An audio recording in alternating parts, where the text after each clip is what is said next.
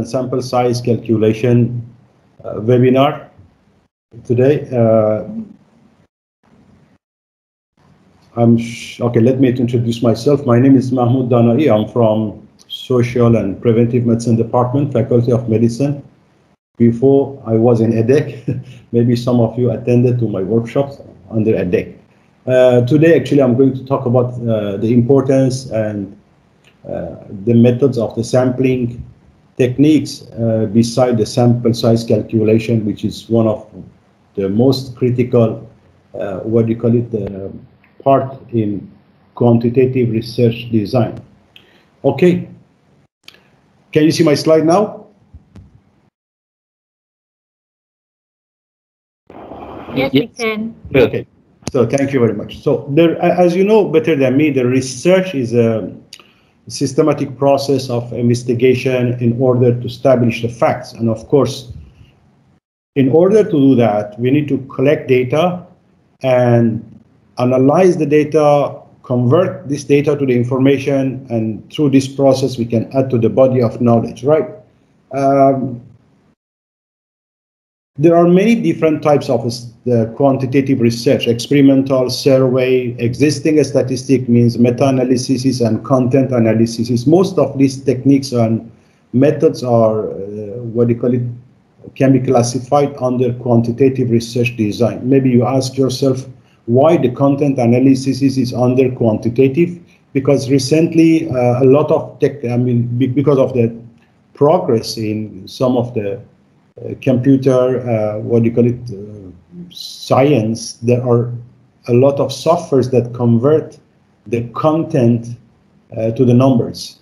So um, many softwares now are available and let you to convert your qualitative data, especially for content analysis, to some sort of uh, data. And that's why nowadays the content analysis become a kind of quantitative research because of availability of these softwares and converting the information from the content to the numbers. Uh, of course, in the process of research, collection of empirical data is one of the most important phase. As you know, uh, the, including in, in the process of research, we have several steps, right?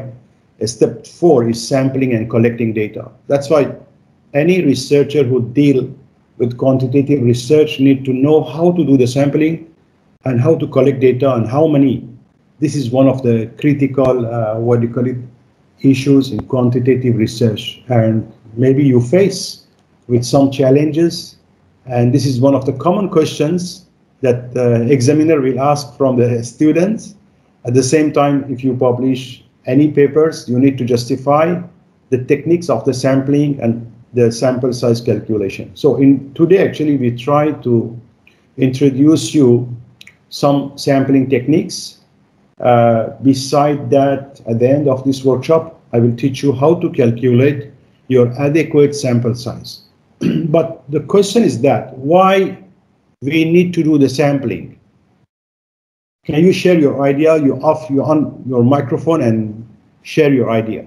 Why do we need to do the sampling?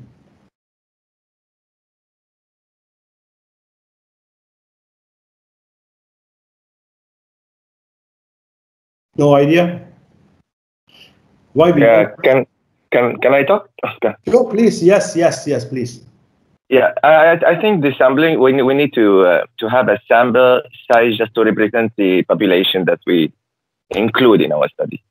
Okay, well, I'm, I'm, okay, I agree with you, but the question is that why do we need to do the sampling? Why we don't collect data from the whole the whole population? We don't have time. yes, true. So sometimes there are two main barriers in order to collect data. Ideally, yes, Ideally, if it's possible to collect data from the whole population, that will be ideal. That will that will be great. But in the practical manner, it's impossible sometimes to collect data from the whole population because you need more time and also it's costly, right? Suppose that if you need some information about Malaysian people, we know that the population of Malaysia is around 33 million. Is it possible to collect data from the whole population? Yes, it's Sorry. But it needs more time, manpower, and money, right?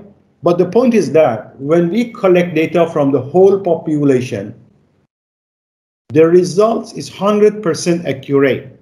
Let me to go to the, okay, so the results will be 100% accurate. So means the results will not be biased. So this is the, this is the point. But we know in the real situation, it's impossible. Sometimes the population is not accessible. You cannot collect data from the whole population. So that's why the solution is the sampling. So we need to go through the sampling. It's low cost and it can be done fast compared to the whole population. But always the results will be biased, correct? So means the result will not be 100% accurate. So do you know what we call this bias in a statistic? Is this selection bias? Not exactly, yes, selection bias, yeah, but it can be interpreted as selection bias. But how we can measure it?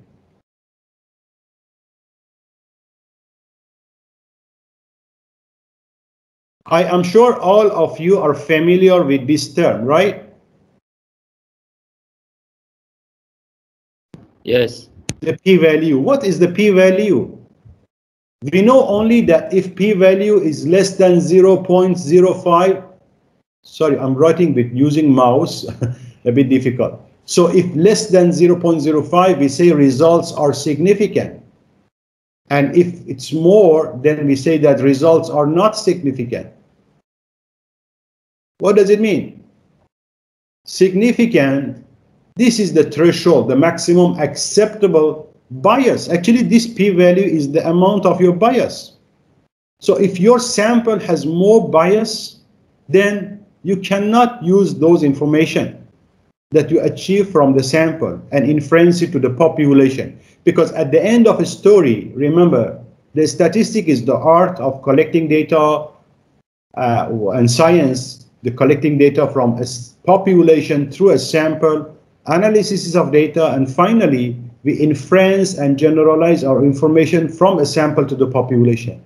So if your bias is too high, can I, can I inference my result to the population? Of course, no. So how much is the acceptable level for this bias? It's 5%. So means by 95% confidence above, we can generalize our information from the sample to the population. Correct?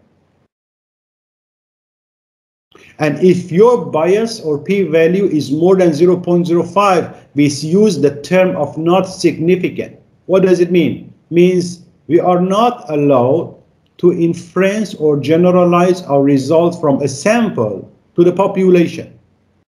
Let me to give you an example. Suppose that you, com you compare the quality of life among male and female. One study what study number one for the female we found that the quality of life score is 12 among male is 10.2 and the researcher who did this study calculated the p-value using for example t-test and then these students found the p-value is 0.02 is it significant? Yes. Yeah, here it's significant. So means by 98% confidence, we can claim that in the population also female has a better quality of life compared to the male. So another study conducted with another by another researcher, and he found that 12.1 and 11, sorry, I made a mistake.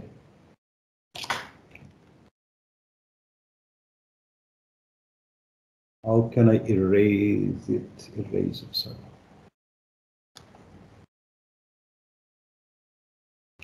And he found that 8.5. And the p-value was 0.181. Is it significant? Also, yes. Yes or no? No. No, it is not significant, right? So despite the differences between male and female is more than the study number one, but this this is this this study has more bias compared to the first study. That's why if you want to inference the results of the population, how much is your confidence? 81%. Right? So you need to understand that what does it mean? The p-value is exactly is the amount of your bias from a sample. So despite the differences is here is much more than the study number one, but the p-value does mean, indicate that these results cannot be inferenced to the population. Okay, one more thing that I want to highlight here, because uh, unfortunately, I have seen a lot of students that uh, unfortunately, they misused interpretation of the p-value. The p-value only indicates whether these results can be reproduced, can be repeated or not. If any other, if any other researcher do the same research, will they get the same results or not? When the p-value is small, it indicates that if you repeat this study again and again and again and again, by 98%, for example, here, by 98% confidence, they will get the same results. So it means this difference is not due to the chance. Okay. Is it clear now? Yes. Okay, so now I'm going to highlight another thing. Suppose that I'm planning to study the socio-economic status among Malaysian people. I collected 420 questionnaire from my neighborhood area, and I found that the average income, for example, of uh, Malaysian family is 1.2 million ringgit per month. The average number of property each family has 7.2 and number of cars in each family is for example, 6.1. Can I inference this result to the population?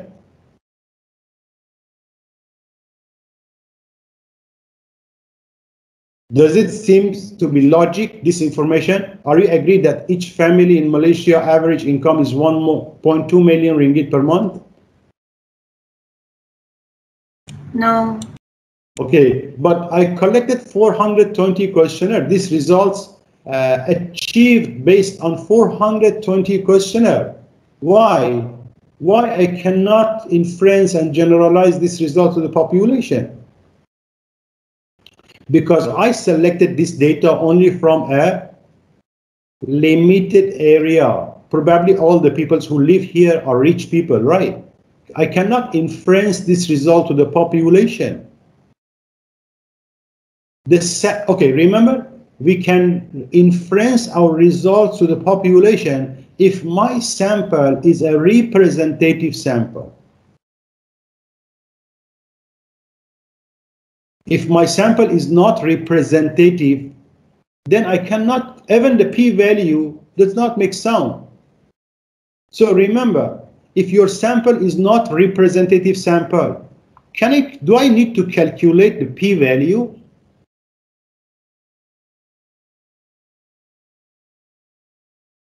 What do you think? Do I need, because the p-value, we use it for measuring the bias and later inference and generalizing your result to the population, right? When the sample is not a representative, do I need to calculate the sampling bias? No. That's all. So when we talk about representative sample means all subjects should have equal chance to be selected, right? It, it should be a random sample. I will talk about it later. But you need to understand that if the sample is not representative, please do not calculate the p-value. What does it mean? It means we don't need to do statistical analysis in order to calculate the p-value we have some non-probable sampling, non-random sampling. Non-random sample are not representative. So actually, when your sample is non-random, You don't need to calculate, you are not able to calculate the sampling bias, the sampling error. And we know that the p-value reflect the sampling bias or sampling error. And this is a common mistake, unfortunately, among many researchers. They do non-random sample, and then finally they analyze data, and then they judge their results based on p-value. This is totally wrong. Because the p-value shows amount, the amount of bias or your confidence to generalize your pop results to the population. And when the sample, when the sample is not representative, actually you don't need to calculate the p-value. We don't have something like accepted or rejected based the results based on that. I have seen a lot of research, to be honest, within at least last 15 years. Students, researchers, they do convenience sampling, they do snowball sampling, they do quota sampling, and then they do analysis, and then they accept and reject their hypotheses according to the p-value, which is totally wrong. You can only use the p-value to accept or reject your hypothesis if your sample is representative sample. This is the most important, what do you call it, issue point that you need to consider when you are planning to do a statistical analysis in order to test your research hypotheses. Clear? Yes. Any question?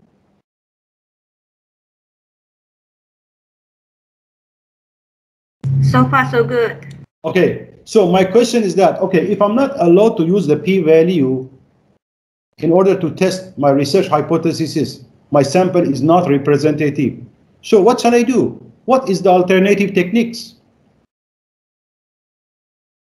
If I'm not allowed to use the p-value because my sample is not representative, what shall I do?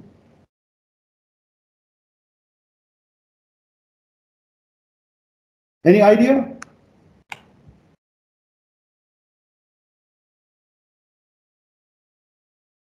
Size? Yes, please. Effect size? Yeah, effect size. So remember, when a sample is not a representative sample, when a sample is not a representative sample, of course, we cannot say that always it's possible to do the random sampling. No, so in some cases, there is no choice. No way. You need to do the non-random sampling. So when we do a non-random sampling, instead of using the p-value, we can use the effect size to interpret our results. And remember, non-random sample, the results is only for sample, not for the population. Sometimes when we do a pilot study, the result is only for piloting, that's all. You cannot inference it. You cannot generalize it. I will talk about effect size later when I move to the sample size calculation and I will teach you how to calculate the effect size. Clear? Okay. Good.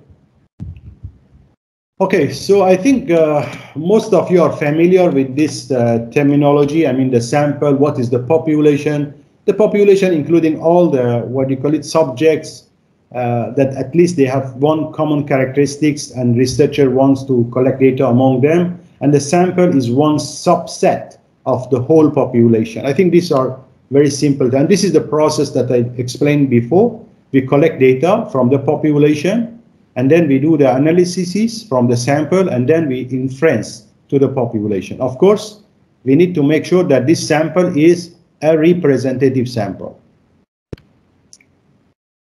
So these are some terms. I just I, I will share the slides later at the end of the session. So the target population, uh, including all the people or items with the same characteristics that one wishes to understand or study. The sampling unit is the smallest unit. Uh, sometimes I will explain about the multi-stage sampling later. Sometimes we have more than one sampling unit. Sampling unit can be uh, what you call it, defined according to the sampling uh, techniques or scheme. The sampling frame is the list of all the subjects in your target population that you want to take a sample from that. And the sampling scheme means the method of selection of the sample from the population. When you want to develop a sampling plan, remember that you need to explain and identify all these five steps. You have to define your population, especially uh, for the students. If you are supervising the students, make sure that your students identify and clarify all these steps in their methodology. These five requirements in the sampling plan need to explain the population. They need to identify the sampling frame, if possible, of course.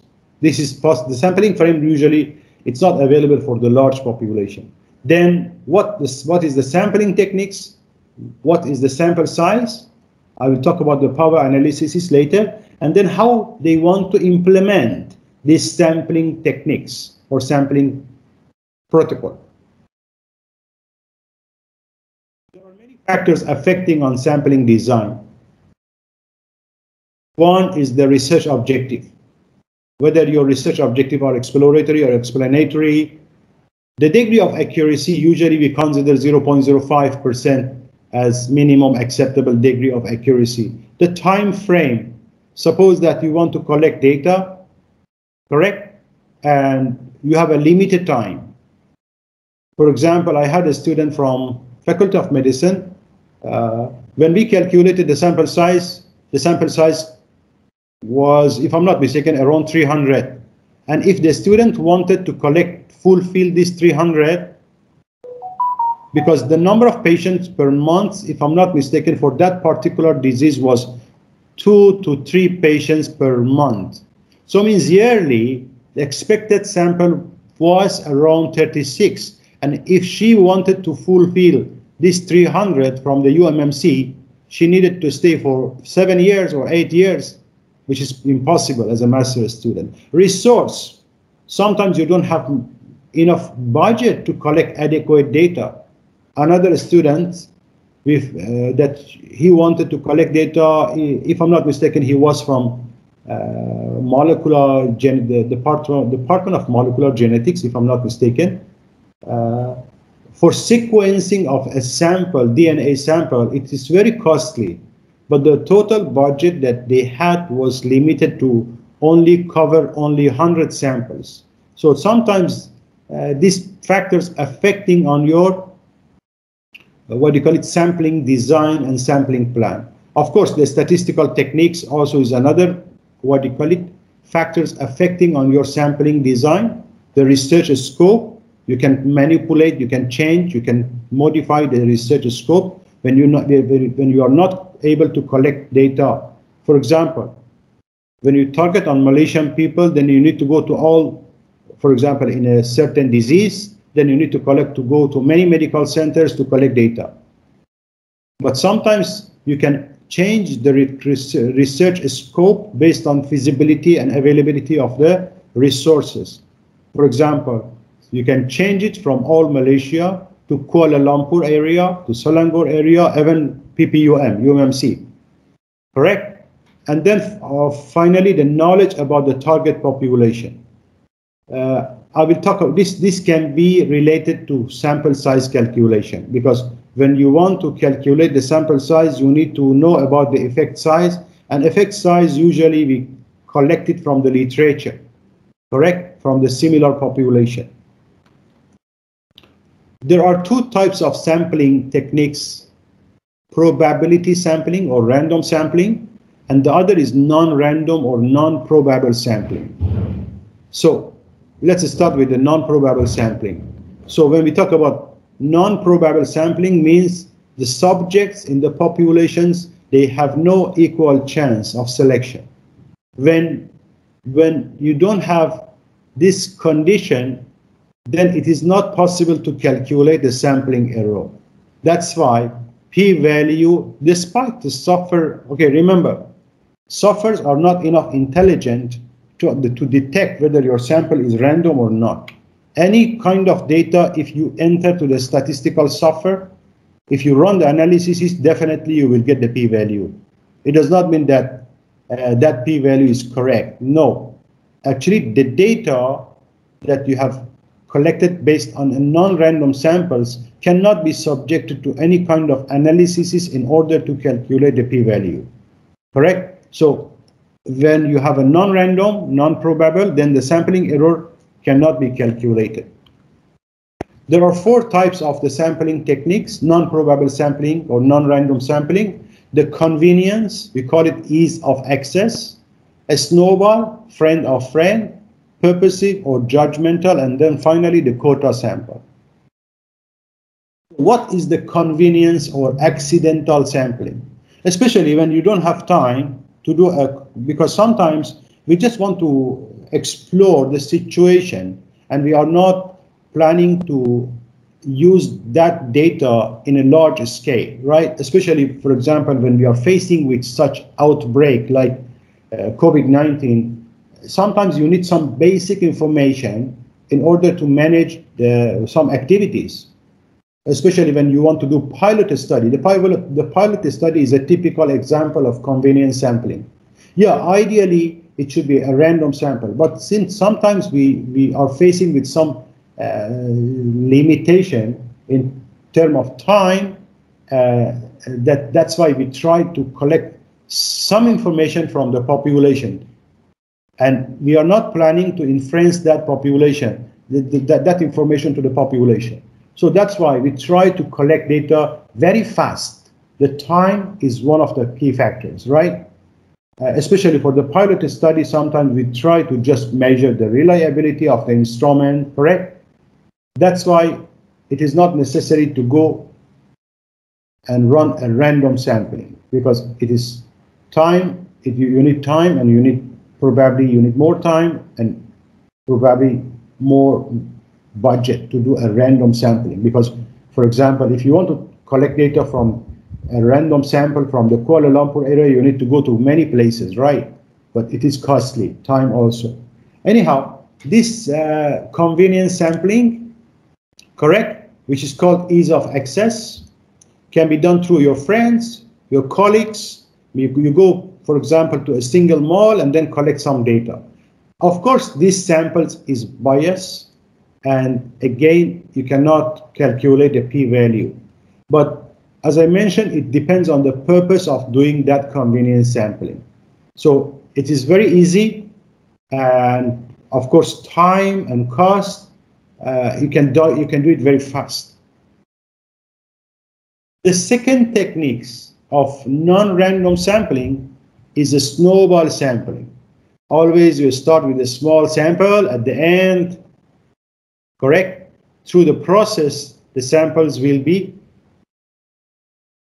in sample size will be increased. So usually this kind of sampling techniques can be done among some secretive or hard to reach population.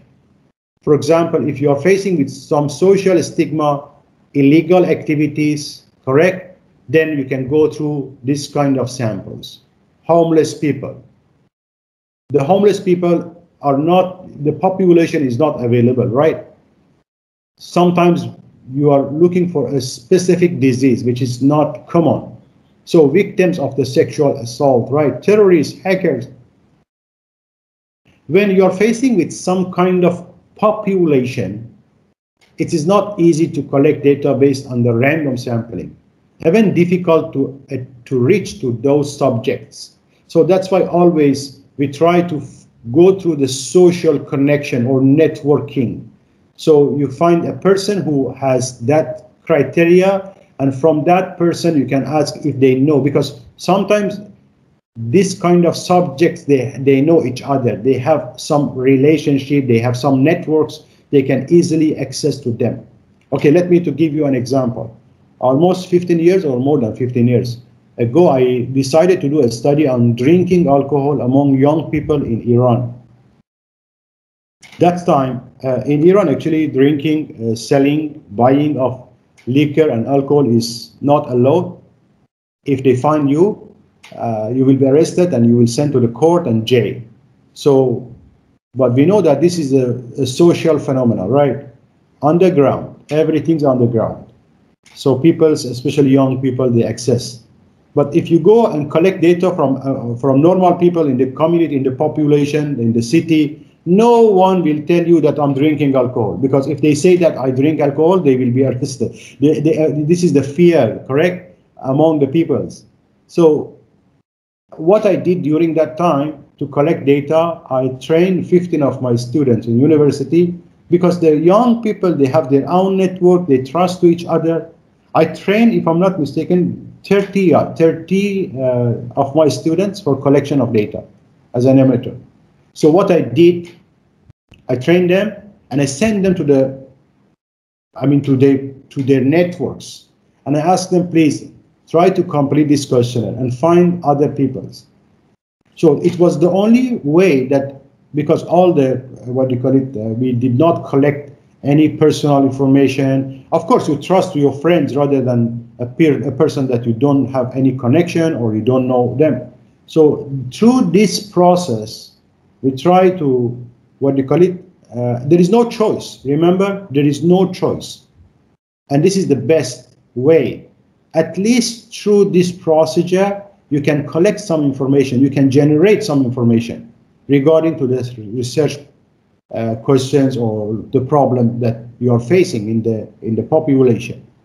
So, uh, of course, since again the peoples who are not inside your network, they don't have chance of selection. Again, the sampling error cannot be calculated. The sampling bias cannot be measured. So there are three types of the snowball sampling. The first one is linear. Each subject refer you to another subject. The second techniques, the second approach is called exponential. There are two exponential, means the first subject refer you to multiple or more than one subjects. And again, each subject you will request to introduce you more than one, as much as they can. And then they, you, this is exponential, non-discriminative snowball sampling, because we collect all the data. So some of the statisticians advise to do the non, uh, sorry, discriminative snowball sampling. The reason is that because when they do the discriminative snowball sampling, they try maybe to close this uh, sampling techniques to a random sampling. Sometimes the selection maybe is based on some criteria. Sometimes no, it is based on the random. For example, if the first subject introduced you four other subjects, maybe among them you randomly select one and then you just proceed. It's a kind of semi-randomized snowball sampling, right? So then possibly you can calculate the p-value for this kind of sampling. Why? Because there was a random selection, not fully random selection, because the first subject probably was not selected randomly, but the rest can be selected from that network.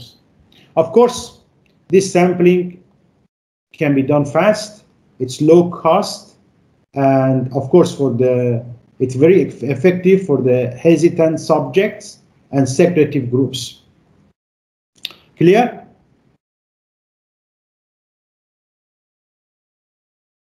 Yes. Any question? Any issue? No.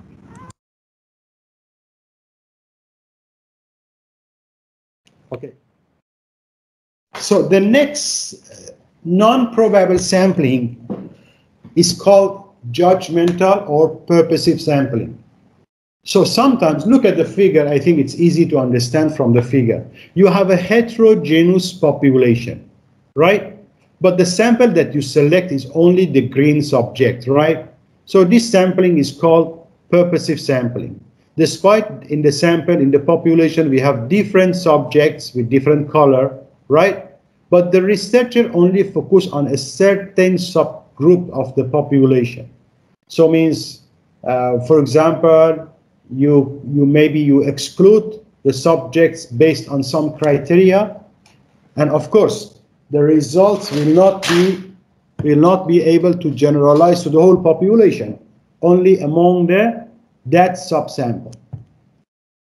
The other name of this sampling is iterative sampling also. The last non-probable or non-random sampling is quota sampling. Actually, some of the students or researchers may be confused between this and stratified sampling. Again, in this sample, we have a heterogeneous population, and my sample also is a heterogeneous samples. But the problem is only this, the, the, the, the proportion of the subcategory. I have some, uh, some what do you call it, uh, subcategories in the main population. As you can see here, we have three type of fishes in this fish tank with different color. Of course, the purple one is 10, right? The green is 6, and the yellow is 3.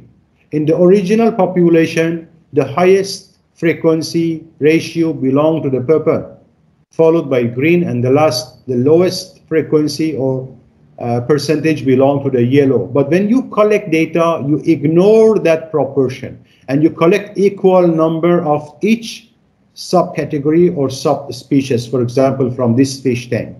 So this is called quota sampling. So you keep the heterogeneity in your sample, same as population, but the only problem is that you have a same quota for each subcategory. Later, you can see here, I will show you in the stratified sampling. A stratified sampling also is a, it's a kind of random sampling. Heterogeneous population, the sample also will be heterogeneous, but we follow the proportion of subjects in the population, right? So this is uh, this is called quota sampling. Again, you cannot inference this result in population. For example, in, Malay in Malaysia, we have three ethnicity, Malay, Chinese, Indian, correct? Majority are Malay, followed by Chinese and Indian. If you collect equal number of Malay, Chinese, Indian, and you compare it, this result cannot be inferenced to the population. Why? Because you are not following the same proportion in the population. Clear? Yes. Good. Second techniques uh, that we always prefer to do it is random sampling or probability samples. Uh, this is based on the random selection of the subject from the population. The first one is simple random sampling. Actually, the simple random sampling, it's I think most of you are familiar. Everybody in the population that has equal chance of selection in a single step, you can withdraw the subjects from the population based on the random numbers, right? So, uh, of course, for this kind of sampling, you need the, you can calculate the sampling error, means you can calculate the p-value, but for this kind of sampling, you need a complete list of all subjects in your population. And that list should be always up to date, correct? So Usually we do not advise, and it's not possible to do this kind of simple random sampling for a large population. Why? Because in such cases, you don't have any access to the frame list or sampling the name list of all the subjects in the population. Usually when we talk about random sampling, you need random numbers. In the old school techniques, we always uh, look for the random number from the literature, from the statistical book. If you search random numbers, table, so in, look at here, this is all the random numbers in the statistical textbook. Always they provide such, such tables to make it easy for the researcher to do the random numbers. But nowadays, we don't need to this to go through this old techniques, right? So why? Because there are many online uh, calculator uh, that are available from the web. One of them is the random ORG. So if I go to the random ORG, random ORG, if you go to the random ORG, it's one of the best website to create a random set of numbers. Look at here, in the in the home page, you can click here and then you can generate some random. Even if you search in Google random numbers, even in, in Google, you can generate, for example, I have 5,000 subjects and then I want to generate numbers. The Google also provided these options in the, what do you call it, as one of the facility that you can create and generate random numbers by Google. But of course, academically, better to use some well-known website. And this is one of the website that always I advise my client and students to use it. If you go to the random numbers integer calculator, you can create a sequence generator or integer generators, integer set generators, right? There are different options that you can try and uh, find other, what do you call it, uh, facilities provided by these websites. For example, if I want to select 100 subjects among 3,000 students, correct? So if I just click on get numbers, this is random numbers generated, correct, by random org among from 1 to 3,000, including 100 subjects. Suppose that I want to convert them to the two groups for example, you are planning to run an experimental study, control and intervention. Then I convert it to the one column. Then the system will generate you randomly two set of data, correct? No matter whether you want to do the you want to do experimental study or survey study, easily you can select the a set of random numbers between two uh, limit two uh, in a range, right? So this is one of the well-known website. If you don't access to internet, again, you, you can use the Excel. Let me to show you. In Excel also you can create random numbers. Many of statistical softwares provide this option. Look at here if I suppose that you want to create a random numbers, always in SPSS to apply the function you have to click First, you would need to enter the equal, equal, then random. If you look at here, when I click RA, this is the random. This is a random number between 0 and 1, and then this is a random number between. So when you create between this, for example, I want to create a random number between 1 and 3000, and then enter. So if I drag it, as you can see here, and remember, always you need if you want if you want to apply this number, you need to copy this number and paste it somewhere as a text. Because anytime if you refresh your screen, if you close and open it, the numbers will be changed. So that's why always try to copy this number and paste it as value, right? If you paste don't as a formula, as a value, and then then you can set then you see again the numbers change. So this is another function that you can create random numbers in SPSS in Excel, sorry in Excel. So these are some links that I shared here for you for for those people who are interested to uh, use and experience other calculator. Okay, Uh, can we have a short break, five minutes, and we start again at 11? Are you okay? Sure. Okay, uh, just share with you something that maybe you are interested to know about. You remember I talked about the, uh, the content analysis,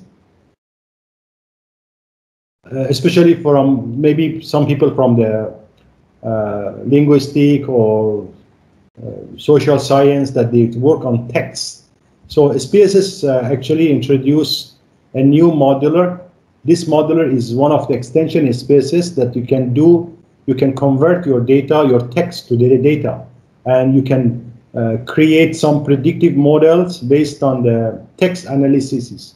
This is one of the interesting, uh, what they call it, softwares that you can, it, it works based on the text. So you the system, the softwares uh, actually read the text and you can extract, you can do the cluster analysis based on, it's very uh, advanced, uh, use advanced technology based on the data analytics, text analytics software.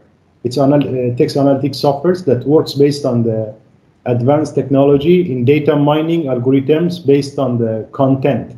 So for those people who uh, are from some fields that deal with some kind of text analysis that advise them to uh, go through and learn about SPSS modeler.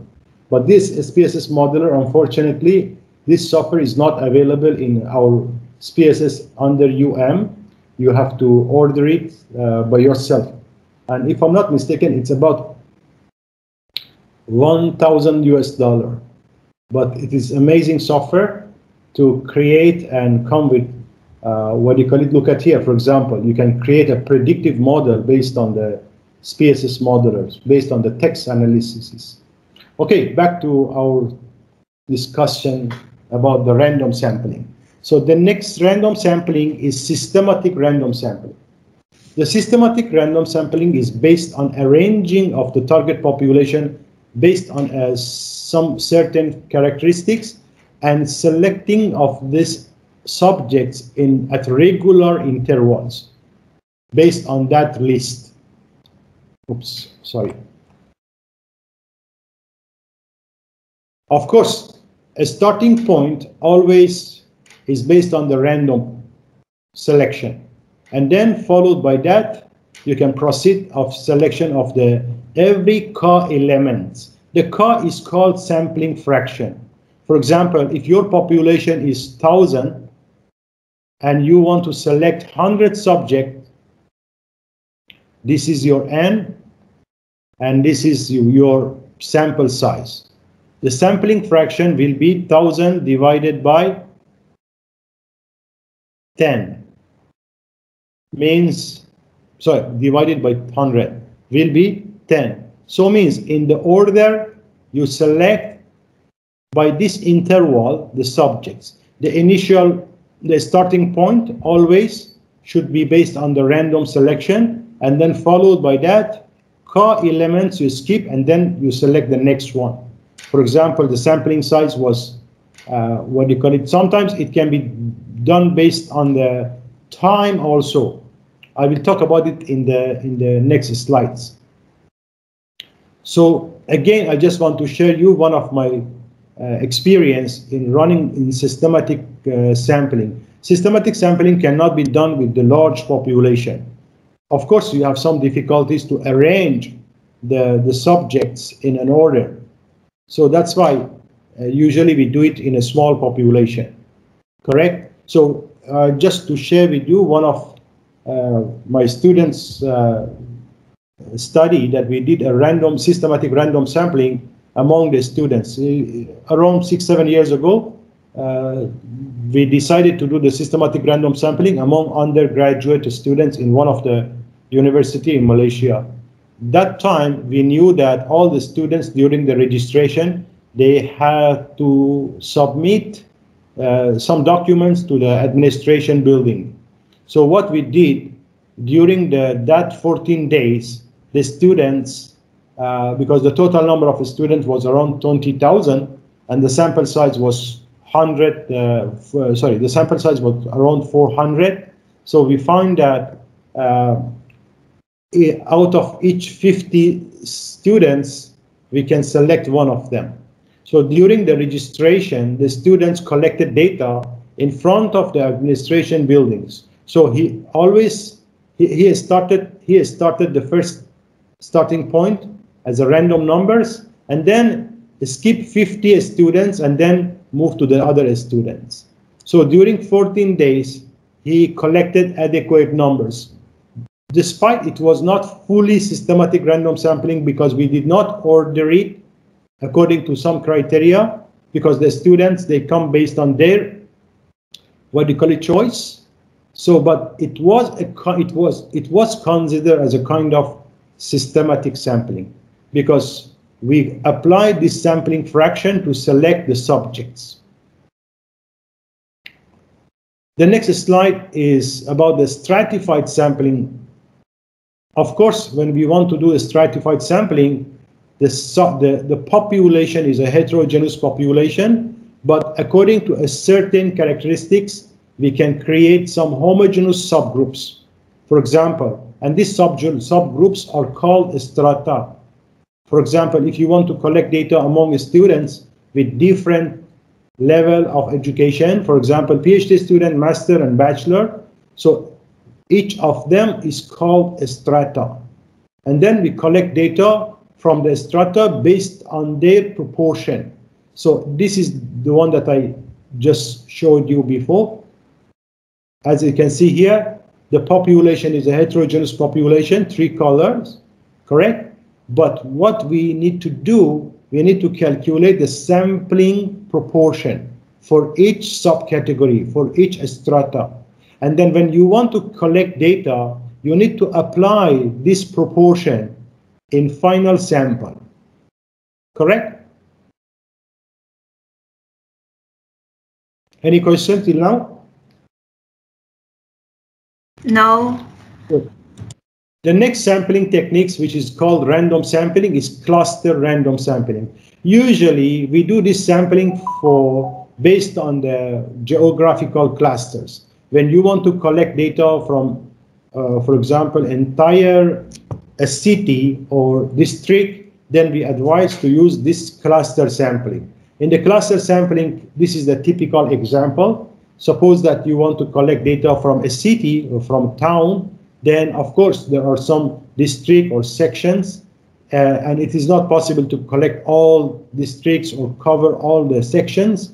In the first stage, we just select randomly some of this section. These are not strata because they are not homogeneous. These are called cluster because in strata, if you remember in strata, strata are homogeneous subgroups. But in cluster, these subgroups are not homogeneous. They are heterogeneous. So that's why it is called cluster sampling. And remember, as long as you select some of these subgroups, heterogeneous subgroups, it is kind of cluster sampling. So once you select in the first stage randomly some of these sections, and then from each section, then you can collect data according to the population size from each section. One of the new techniques actually was one of the common techniques when you are going to collect data from a large population, it's multi-stage sampling. The multi-stage sampling is a complex a combination of all sampling techniques that we have discussed till now. Correct? So the multi-stage sampling is a complex form of cluster sampling. So let me to give you an example. This is a real example. So suppose that we decided to collect data from regarding to smoking among school uh, children in the whole Malaysia. Of course, it was not possible to collect data from the whole country, from all school children. What we did in the first stage, we selected five states randomly. So this is a kind of cluster sampling. Out of, uh, what, as you can see here, out of 14 states, we select five states randomly. And this is because maybe you ask yourself, why five? Why not six? Why not four? This is because of the budget, because of the budget and time and manpower. So remember, I already explained that the sampling scheme can, some of the, some factors can affect on this, your sampling scheme. One of them is the scope, budget, time, other factors. So in our research that we conducted in the whole Malaysia, we, we, we decided to select five states randomly. But even in this study, we tried to do a kind of stratification first. So means we select north, east, south, and center, something like that. From each area, from each geographical area, then we select one state randomly. And from each state, again, we selected five city again randomly. These five area or city were selected randomly. In the next stage, from because this, the, the researcher decided to compare between rural and urban, it was one of the objectives. That's why we select both rural and urban area. This is stratified. In the stage four, from each area, for example, we have five area. In each area, we selected both rural and urban area. From each section, again, we selected three schools randomly. This is again cluster. And then finally, in each school, we apply a simple random sampling. Why? Because we access to the name list of all students in a school.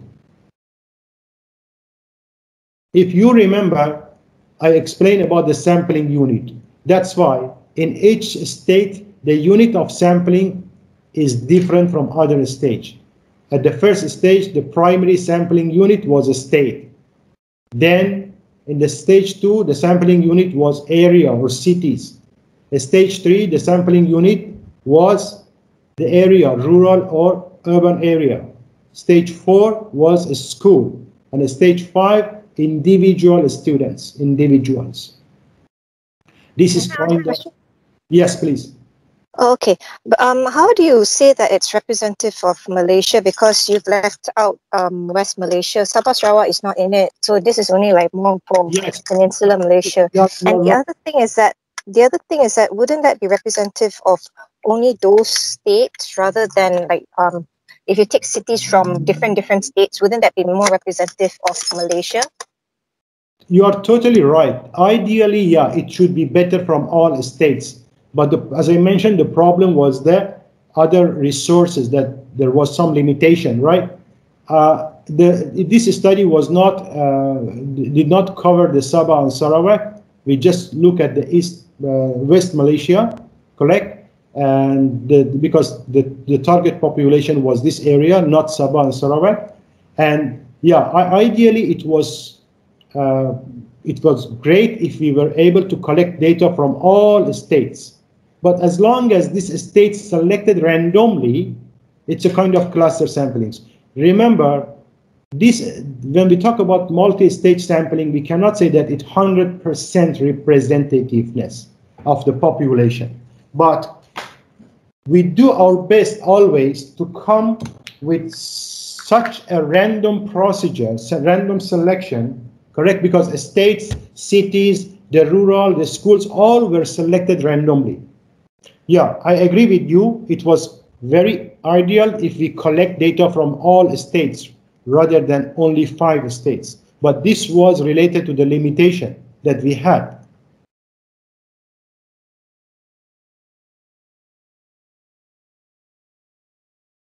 Clear? So, Dr. Mahmoud, uh, in this context, uh, we do we still use the p-value um, stage Yes. five? Yes, still, still we can use p-value, yeah. Because it's a kind of random selection. Remember, if in the process, if you remember even in the snowball sampling, you remember the snowball sampling, when I talk about the non-discriminative, sorry, discriminative snowball sampling, I said that sometimes if you apply a random selection, even through the snowball sampling, still you can use the p-value. If you apply any kind of random selection in the process of selecting subjects, yeah, you can still use the p-value and you can calculate your, you can estimate the sampling error or sampling bias.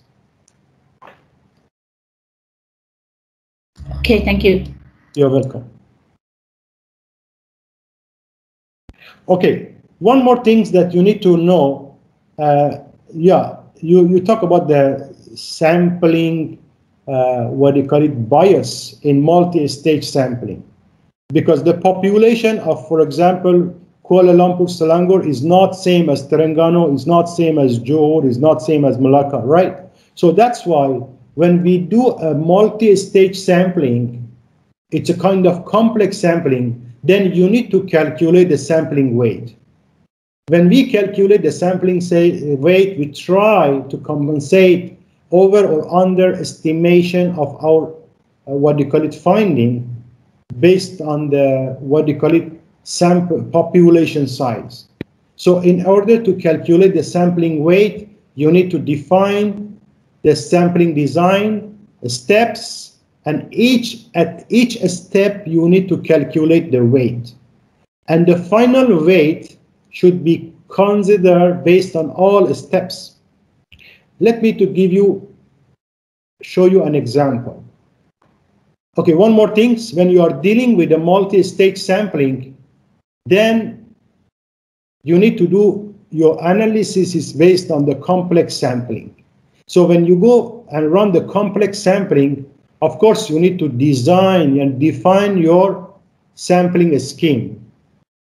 So, but when you want to apply the complex sample analysis and do the, and remember all these things because of adjustment in your sampling bias, sampling error. It's not a simple random sampling. That's why you need to adjust your final uh, sample based on the weightage. And the analysis is, this complex samples analysis is, is based on the weightage. So how we can calculate the weightage? This is another example. One of my students uh, in another country, he selected five states randomly, correct? Because he wanted to collect data among nurses. So what we did, we knew that in state one, there was 13, there were 13 hospitals. Another state, 19 hospitals. Different number of hospitals was uh, available in different states. So according to, again, according to the budget, we decided to select 30% of hospitals. So what we did in the first stage, randomly we selected 30%, it means equal to, uh, what do you call it, four, eight, four, nine hospitals out of total number of hospitals in each state. Uh, remember, this percentage, this proportion depends on your, uh, what do you call it, uh, uh money, budget, manpower, permission. Sometimes maybe you cannot, even if you decide to collect data from all hospitals, maybe uh, they will not give you any permission to go through all hospitals. So there are some other factors that can affect on your sampling scheme. But what we did, we decided to collect 30% of hospitals in each state. So now what we need to do, we need to calculate the weightage, the sampling weightage for a stage one. A stage one is selection of the hospitals. So you need to divide, you need to divide the total number of hospitals. If you look at here, this is the weight for each state. So 3.25 3.25 is the ratio of 13 divided by 4. This is called sampling, what do you call it? Weight for a stage 1. So in the second stage, out of 6,000 nurses in the first four hospitals, the, the researcher collected 250 questionnaires. So what we did in the next step, we did, we did a random selection from the all four selected hospitals. Actually, I summarized them, I simplified this. It was much more extensive, but I tried to simplify this process. Uh, out of 6,250 subjects were selected. So again, sampling weight 2 also was calculated based on the ratio of the total number of nurses by total number of nurses that we have collected from these four selected hospitals.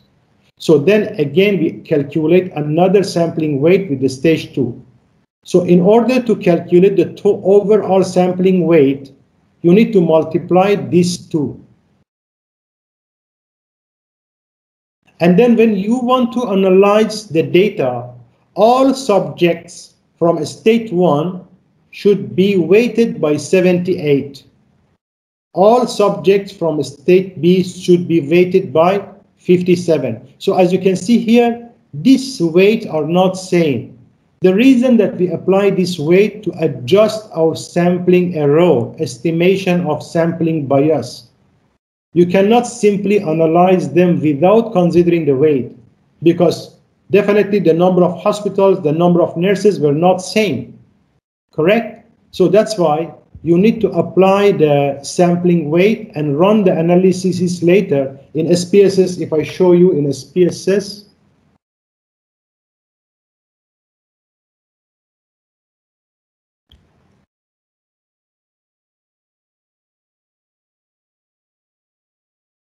some of the statistical softwares provide this option for you. SPSS is one of the best software to deal with the complex sampling. Look at here when you want to uh, first, okay, let me to open a data.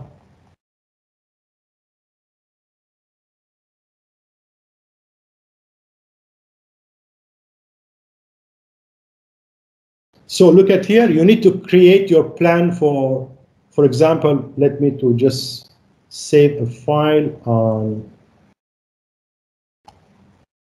desktop test.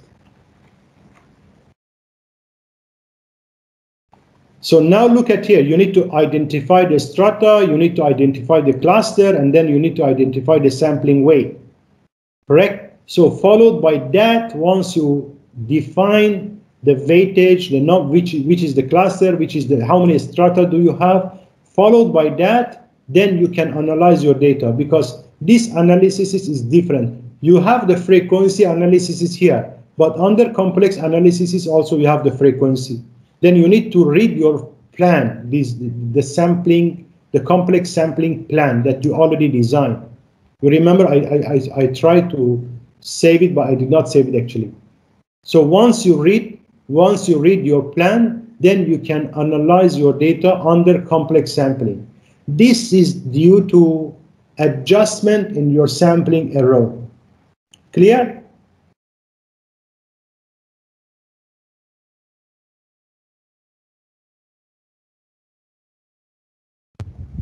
Any question? Okay. So there is another kind of sampling, which is kind, it's a kind of multi-stage sampling. We say time, location sampling or time, venue sampling. So it's a kind of multi-stage sampling, especially, especially when you are uh, dealing with some, especially in medical settings, in the this is a specific kind of sampling that we advise um, when the students or researchers work in medical setting in a hospital in a clinic. So as you can see here the duration of data collection we can randomly select some of the days am or pm and this is the centers. So uh, the name of this sampling is tls time location sampling and it is a kind of multi-stage sampling because again we select the day location afternoon or morning sessions randomly.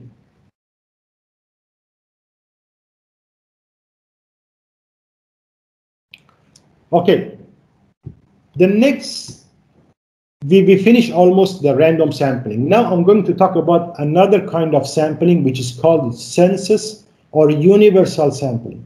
The universal sampling is a kind of sampling techniques that you collect and target to the entire population.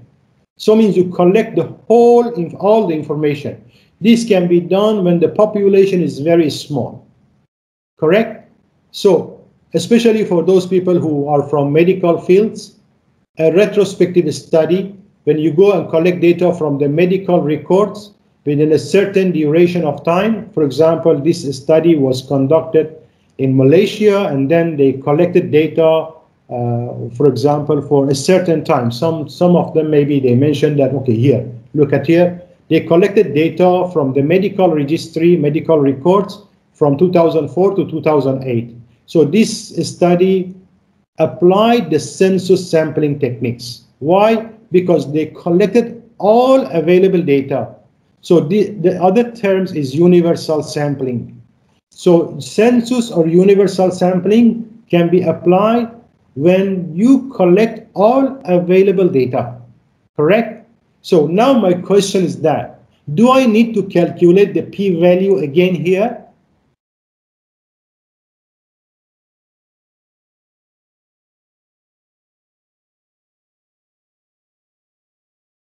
Do I need to calculate the sampling bias here?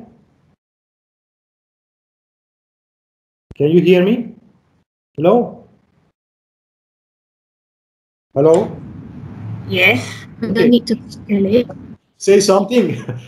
Become stressed that I lost my connection. so can I can I use the p value? Remember, when you are dealing again, I just want to refer you to the first slide. If you remember, the p-value, the p-value was,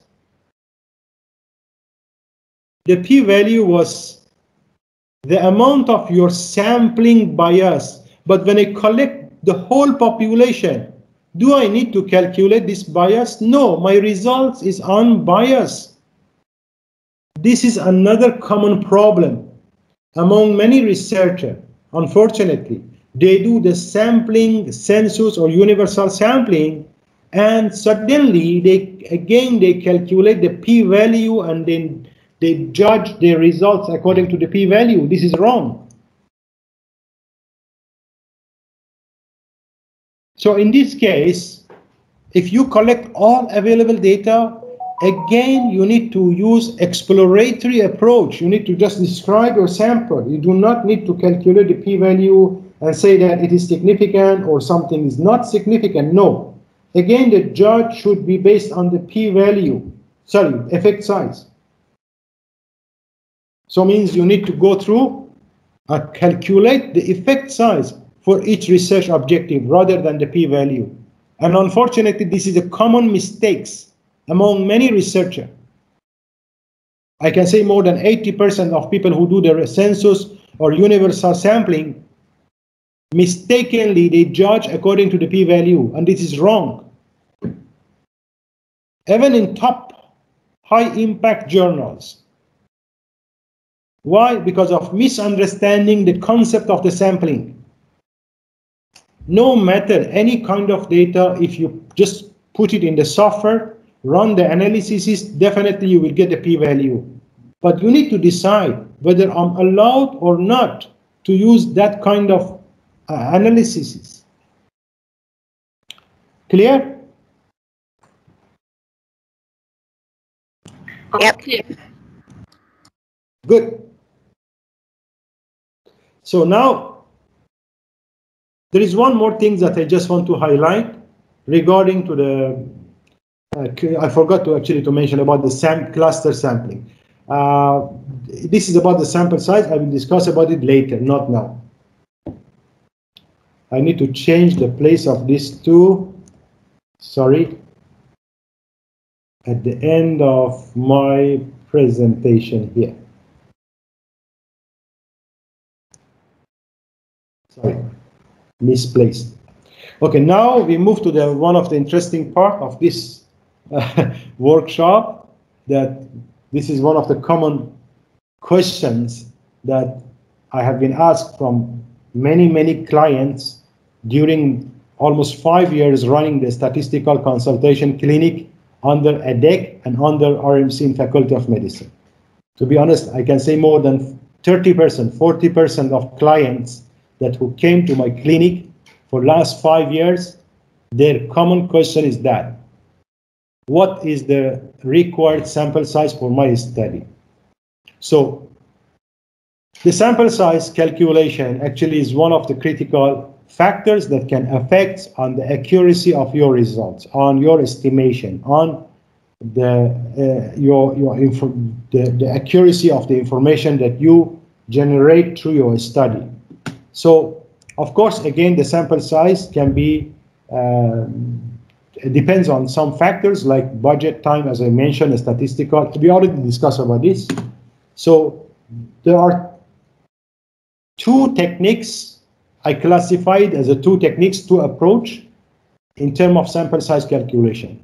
I, I name it as a classical, classical methods. The classical methods, I mean all school techniques, outdated school techniques. Some of them are rule of thumbs.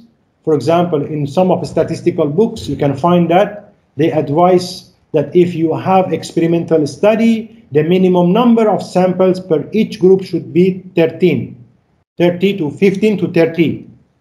So if you are applying a survey questionnaire, the number of samples should be 5 to 10 for each item in your questionnaire. For example, if I have a questionnaire consists of 100 questions, 100 items, then the sample size should be between 500 to 1000. In the classical approach, sometimes the researcher justify their sample size according to the similar studies based on the literature. And in a bit advanced techniques, they use some formula. And unfortunately, there is only one formula. And this is Cochran or Morgan formula. This formula is only based of uh, proportion of or prevalence not based on other characteristics. This Morgan table belonged to the 1960s. This formula belonged to the 1960s, so means almost 60 years ago.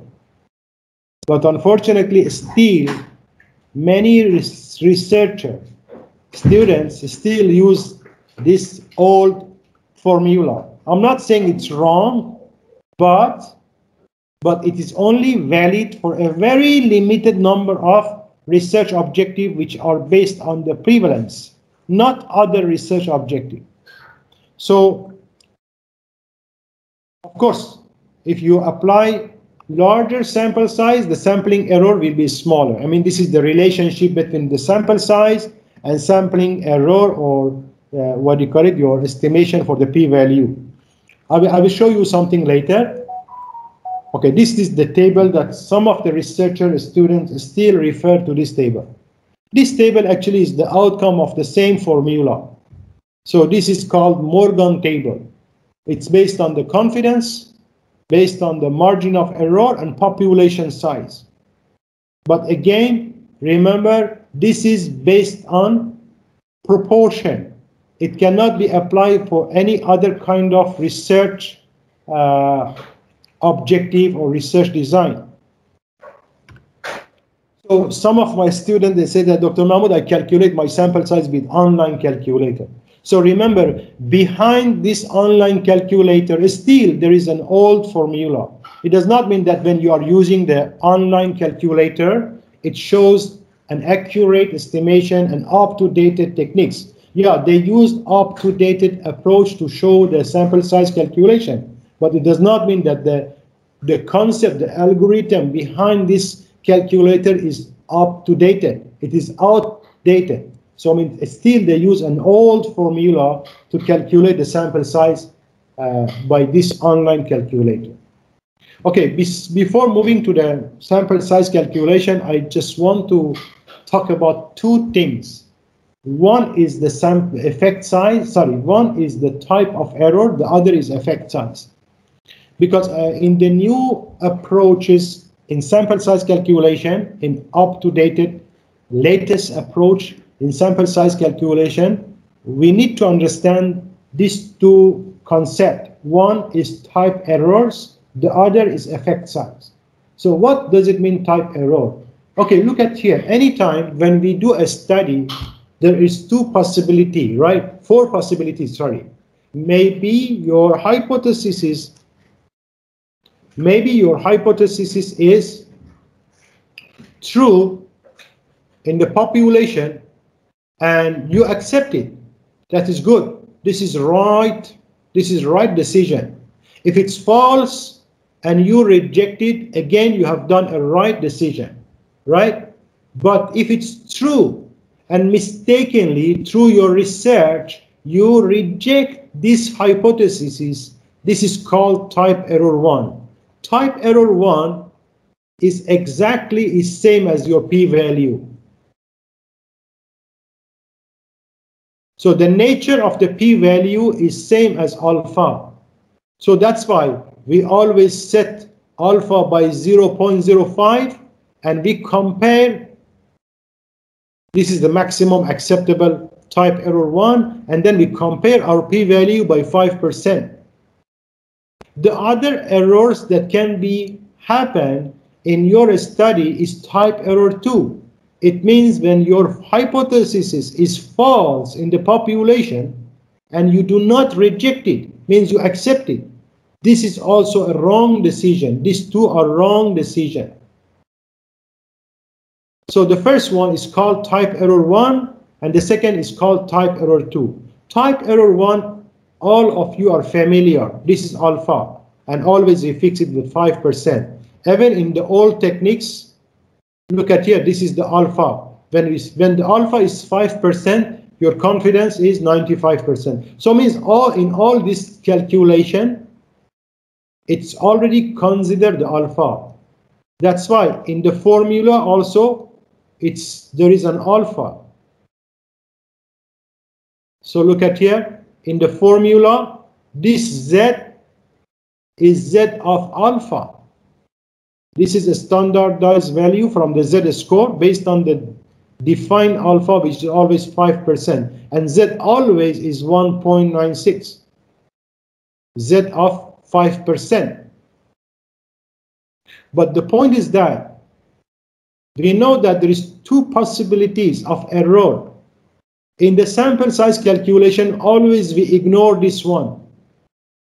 That's why in the new Okay, so 1 minus beta is called power. The power. The power is the probability of correctly rejection of false null hypotheses. So, in the sample size calculation, in the new approach, in the new techniques, methods, we use both alpha and beta. So that's why they call this kind of analysis is power analysis.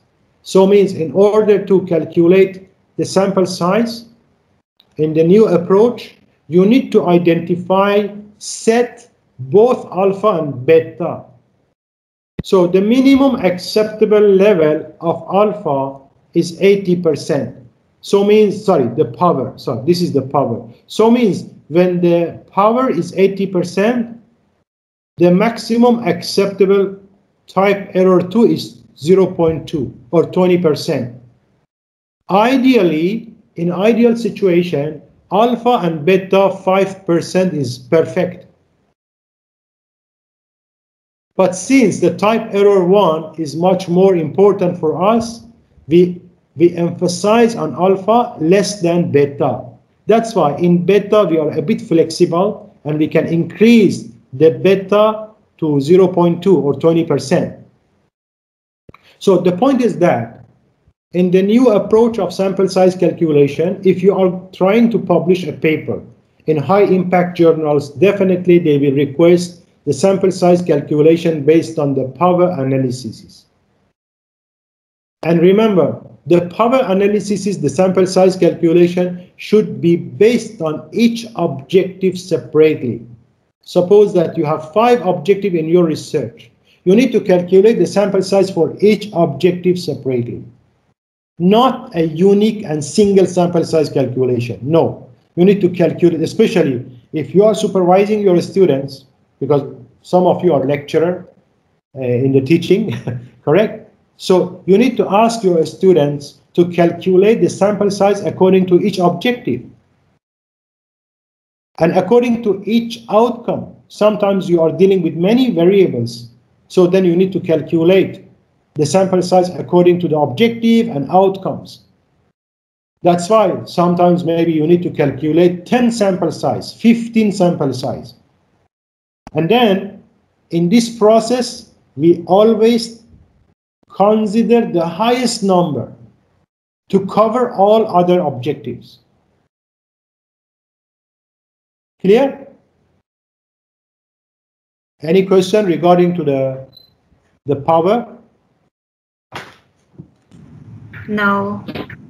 Thank Okay. you. Good. Please let me know if you, if you need some more explanation. Because some of you maybe you are not from the quanti and sometimes if there is anything unclear, let me know. So the next in the new techniques of sample size calculation, beside the power alpha, beta, also we need to calculate the effect size. What is the effect size? Can I ask you a question?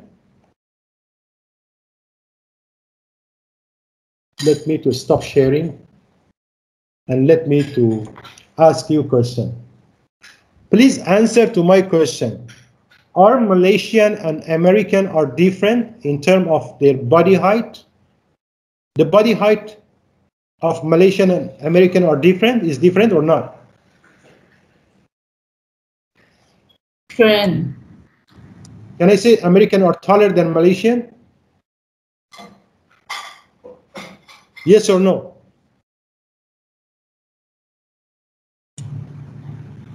Yes.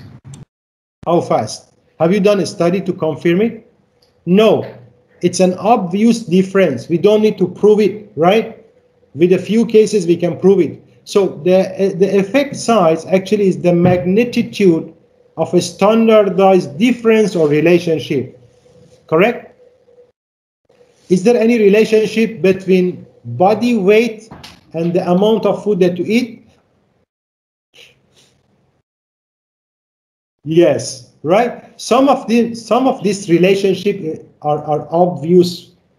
Uh, what do you call it? Uh, differences or relationship. So, effect size reflect the magnitude of difference in a standard form. If I ask you, is there any difference between Malaysian and Indonesian in terms of their body height? So may you say, no, I don't know. Of course, because if there is any difference, that difference is not an obvious difference. We have to go and check, right? So the effect size is a standardized form of uh, difference or relationship. There are different types of effect size. Maybe some of you only are familiar with the Cohen D, which is applicable for the differences. So we have different family of effect size. Effect size for the correlation, like Pearson correlation coefficient, R square coefficient of determination, eta square, omega square, and F square, and Q, Cohen's Q. For the difference family, there are many different types of effect size. Cohen's D is the one of the common one. Glass delta, Hg, phi, root mean square, correct? And for the categorical family, odd ratio, risk relative, risk difference, Cohen's H, and Cohen's W. So all of them are different types of size. Even if you search in the Google effect, effect size for, so look at here, effect size for ANOVA, effect size for multiple regression, effect size for t-test, for linear regression, for correlation, for Mann-Whitney. There are different types of effect size, correct? But let me to show you and teach you one of the simplest form of the effect size, which is related to the comparison of two mean. Okay, remember, there is a link between sample size calculation in the new techniques with the research objective and the statistical techniques that you are planning to apply on your data. Suppose that if you have a pre-test, post-test data, you want to compare between and after, for example, intervention, you want to subject your students to a new techniques of teaching, new te teaching approach, right? You measure their outcomes before and after the class and then you, or satisfaction, and then you want to compare it. So you need to know it from the beginning what kind of a statistical test you need to you need to apply. And then, of course, that will be a pair t-test. So for the pair t-test, then you need to calculate your sample size prior to run your main study. Why? Because you need to calculate your sample size. The sample size is based on the effect size for this particular statistical test, which can cover your objective. So all of them are linked together. That's why when you are designing your research plan, correct, you need to know from the beginning what kind of statistical test you are planning to apply. And based on that, you need to calculate your sample size. I will teach you later how you can calculate the effect size according to each research objective. There are many different kind of, as I mentioned, there are many different kind of statistical tools, correct? And uh, you can you can apply one of this calculator. For example, if you want to apply multiple regression, then you need to go look at here effect size in a statistic, then multiple regression using effect. Maybe if you add calculator at the end, calculator, effect size multiple regression calculator, then look at here, free effect size calculator for multiple regression analysis. This should be done before running the study. So look at here, this is the uh, based on the power of 18%. So this is the R square. I, I will teach you something later, not now. I don't want to confuse you. Go back to the slides. So now we found that the effect size is an standardized magnitude of difference or relationship or association, which quantify the strength of relationship or differences. So one of the simplest, uh, what you call it, standardized uh, effect size is Cohen D. Usually we apply the Cohen D to show the magnitude of difference between two means, two average, right? So if you go to this website,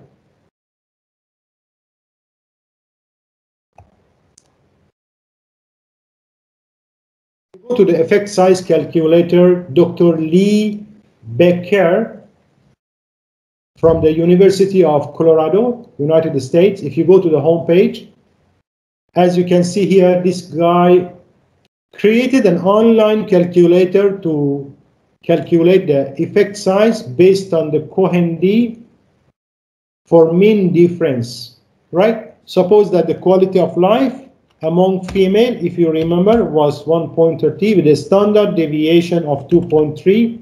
Among female, among male, it was 8.25 with a standard deviation of 3.65. So now if you click compute, the system will apply the same formula. And then you can see here, the effect size is how much? Can you see the effect size? 0.99, right? So how can I interpret this, uh, what you call it, effect size? If you click on the lecture notes, effect size lecture notes, you can uh, you can access to some uh, explanation for the effect size. If I go to the this effect size, a standardized difference between two groups, Cohen D. So this is explanation, this is the formula, correct? And then this is the interpretation. So if effect size is 0.2 means there is a small differences. A small differences means only 14% of subjects probably are different.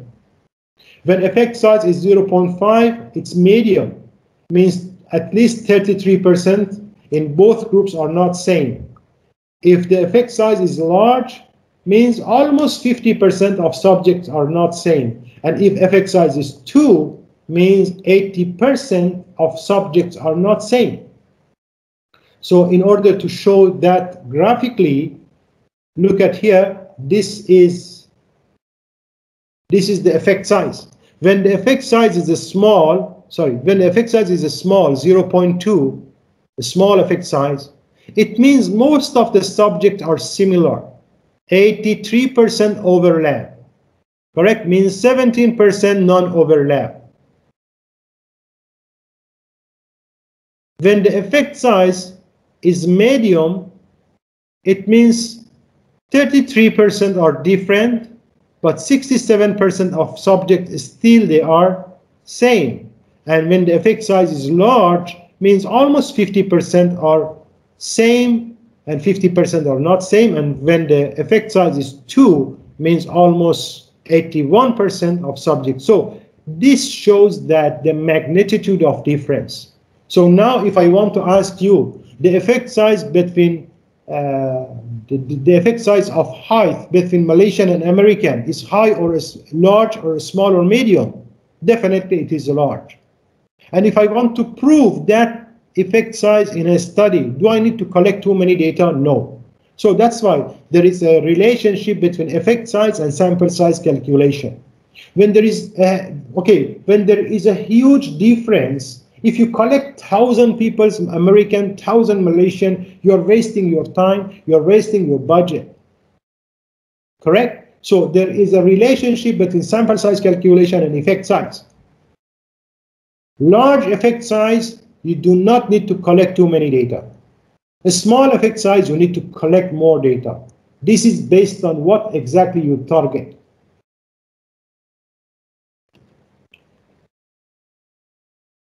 Clear? Yes.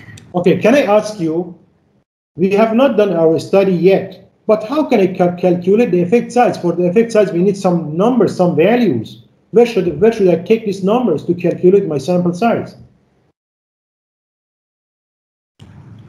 based on the literature or yes. study? Yes, one source is literature review. So you can collect and you can calculate your sample size based on the literature. True. What is the other alternative?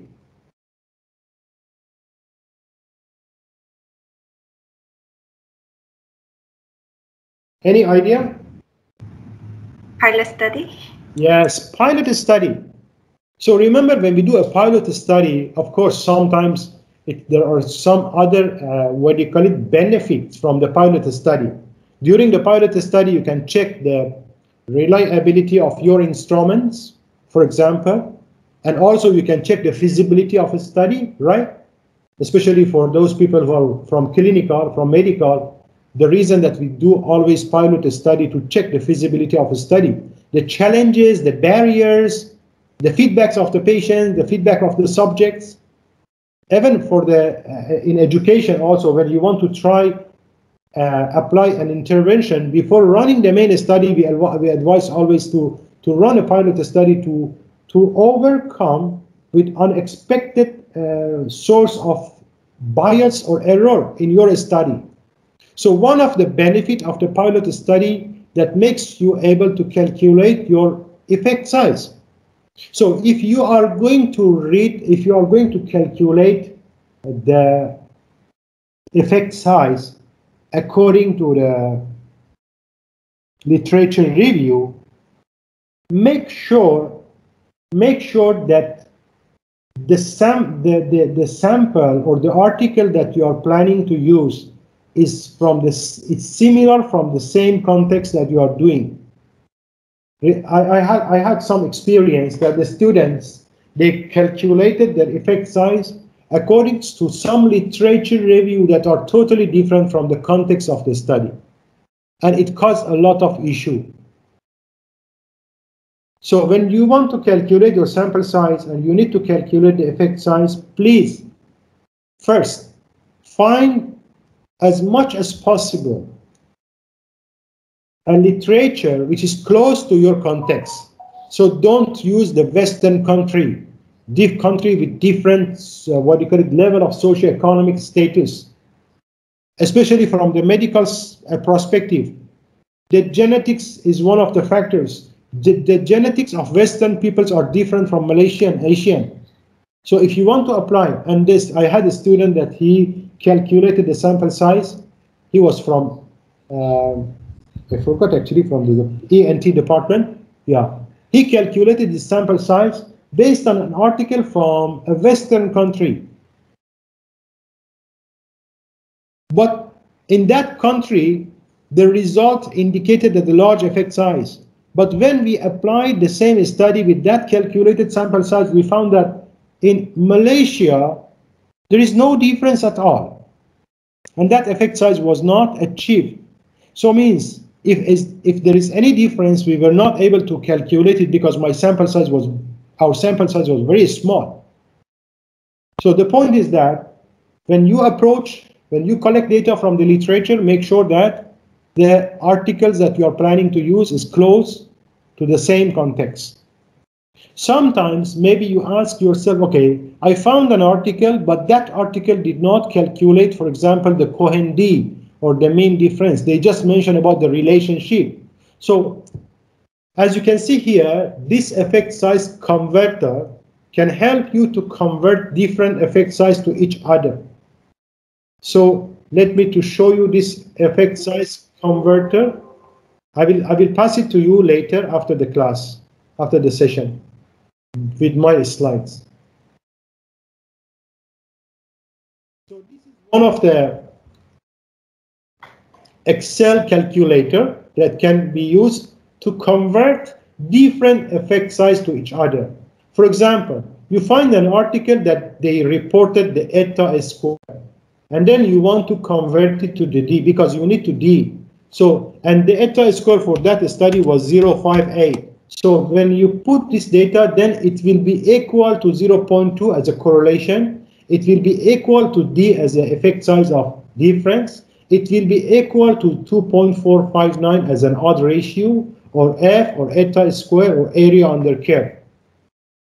So, means you don't need necessarily to find a similar articles that apply the same statistical test, correct? So you are able, you will be able to convert different effect size to each other. Even if you search in the Google box, search box, convert effect size. So look at here, effect size converter. So the computation of different effect size, like DFR, correct? Effect size calculator, converting among effect size. So you can apply some of this, uh, actually, if I'm not mistaken, some statistical softwares also provide for you these options, like MedCalc. Okay. So now we are going to the end of this workshop by teaching you how to calculate your sample size by one of the free available software, which is called G-Power. So please after me, I will give you a short break, five to 10 minutes. You can download this software, install it on your computer because I'm going to teach you some kind of statistical sample size calculation uh, using this G-Power. So there are many softwares that you can use the sample size calculation. And the G-Power is one of the commonly used software the, the reason is that because it's free. you don't need to pay, correct? So please go to Google Box, G Power. So you, if you set G Power, go to the first link, go to the first link. No, no, sorry, not this link. Okay. Go to this link, sorry, here. Universitat Düsseldorf G Power. Just click on that. And then go down. This is the help manual reference and then go to download. So there are two links for you. One for Windows, the other is for Mac OS. So please download this software. It, it takes a few seconds. Look at here. I just downloaded it in my desktop, one, two, three, finish. So now you open this file and then extract this file. I extract it outside. Now this is the G powers folder. So once you open the folder, run the G power setup MSI or just directly set up. You run the setup. So once you complete the installation, please let me know. I will stop right now, 12, and we will start at 12. I think five minutes enough or 10 minutes maximum, enough for you to run, to, to install take a rest and install the softwares and then come back to the meeting room. Okay? Clear? Okay. Okay, okay. So please download, install on your computer, and then I will be back at 12.10, nine minutes later.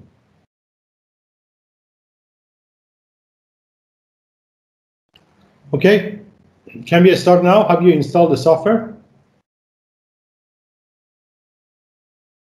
Hello? Yes. Yes. Okay, thank you very much. So now let me to share my screen.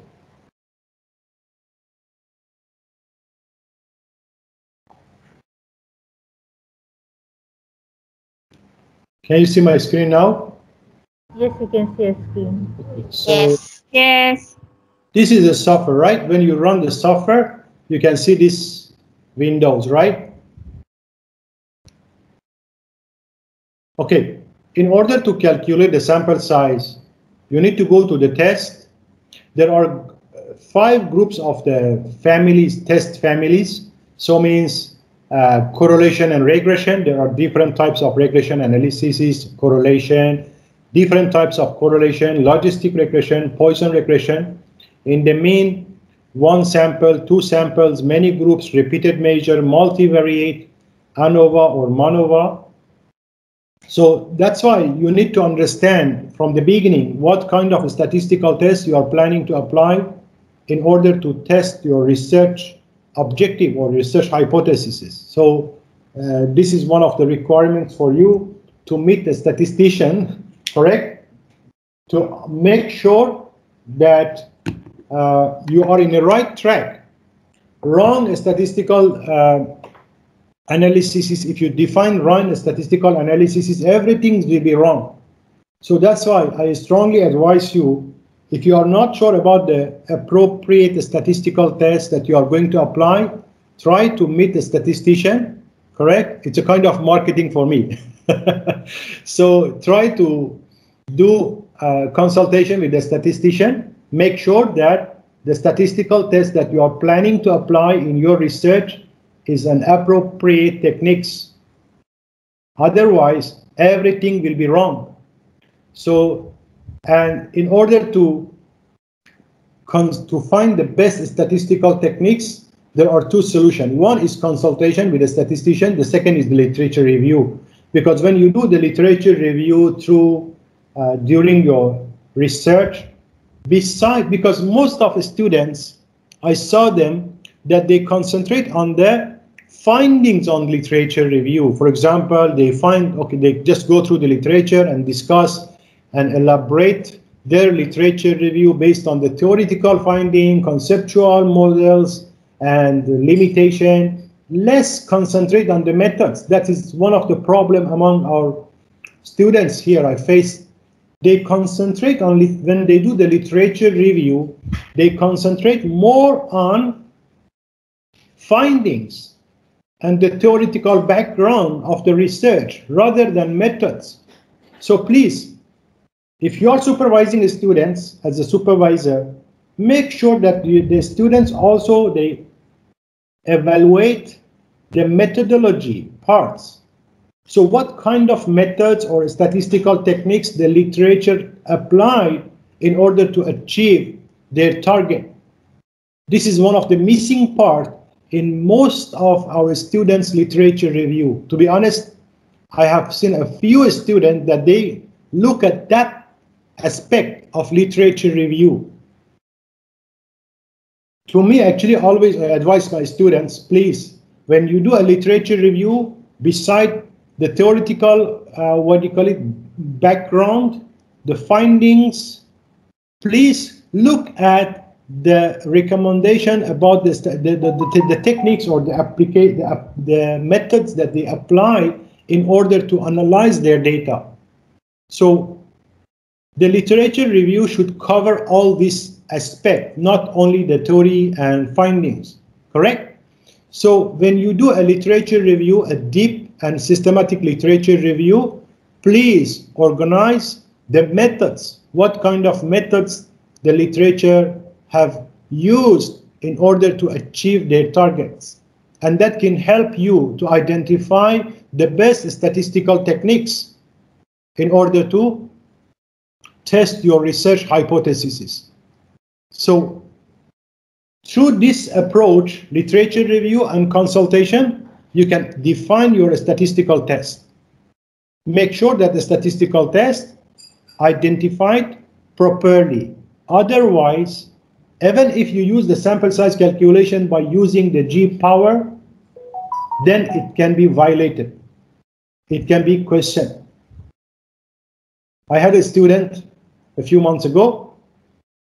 The calculation of sample size was correct using the G power, but the problem is that in the study design was an experimental study using control and intervention over the time. It was a repeated measure, but the sample size calculation was based on pre-test, post-test two means. This is not correct.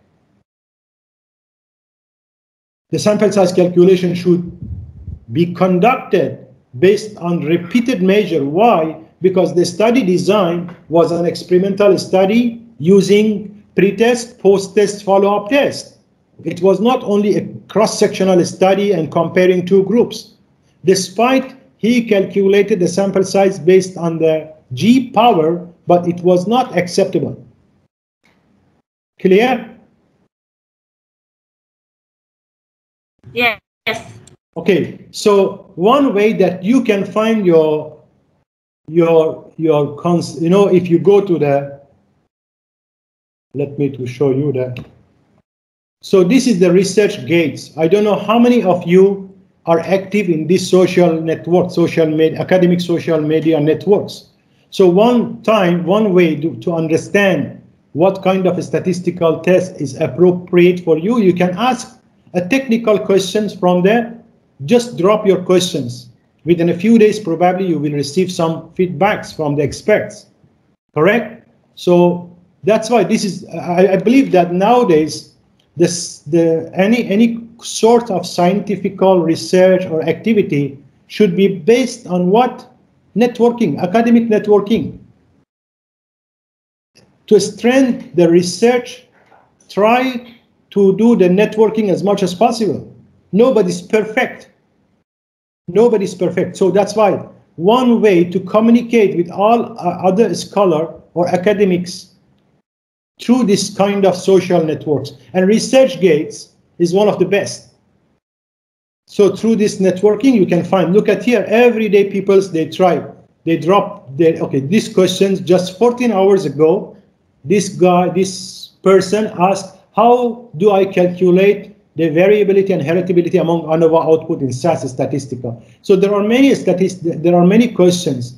Don't shy. And look at here, someone answered to this question. Two answer. So lower type error one risk in MANOVA compared with ANOVA. Why is it the case? So look at here, he just dropped the questions here. And this guy tried to share some experience some of sometimes they provide a link for them. So please don't shy. This helps you to strengthen the body of research. Correct? Look at here. This is another one. This, because since my expertise is a statistic, correct? So all the questions that I can see in my profile, because uh, I, I define myself as a statistician, the keyword, the skill set, expertise that I put here, I define for myself all are about the statistic. So that's why all the questions that I can see in my profile are related to the statistic. Correct? So this is a way that you can secure your research. You don't need to pay me because if you want to see me in RMC, you have to pay 150, 120 ringgit per hour. okay, so by this uh, approach, you can access to the answer of your questions free of charge. You don't need to come and see me. Just drop your questions. Other people also can help you to answer, to find your answer.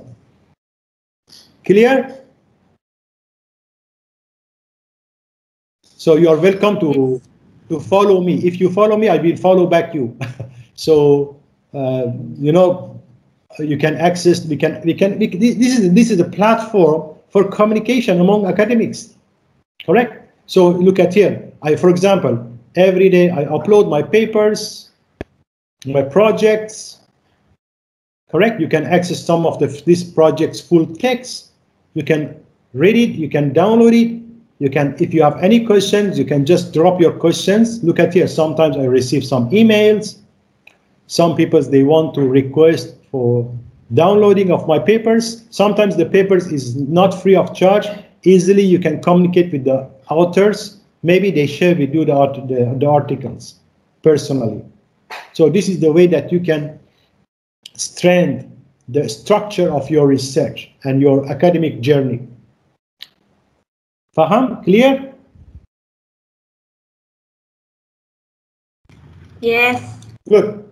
So now we move to the G power and we try to practice some of this sample size calculation using the G power. Suppose that um, my research objective is to compare the health, uh, the quality of life between male and female. I know that the quality of life is based on the questionnaire and the score is continuous data. Then I need, I need, I know that I need to do a t-test, independent t-test. So that's why I go to the test, means, and then independent groups, two independent groups. If your data is qualitative data, then you have to use the non-parametric test, which is Wilcoxon. So if it's continuous data, you go to the independent t-test. So if I click on independent t-test, look at here. In order to calculate the sample size, what you need to do, first of all, you need to define the type of the hypothesis. Tails, one tail, two tails. What does it mean? Do you know? What is the difference between tail, one tail and two tail?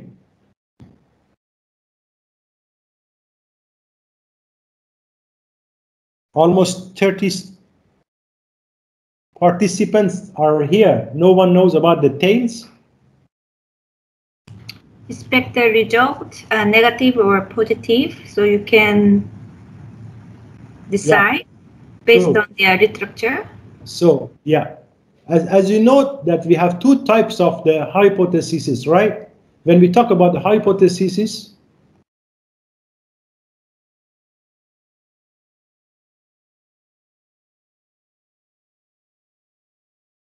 we have two type of hypotheses, directional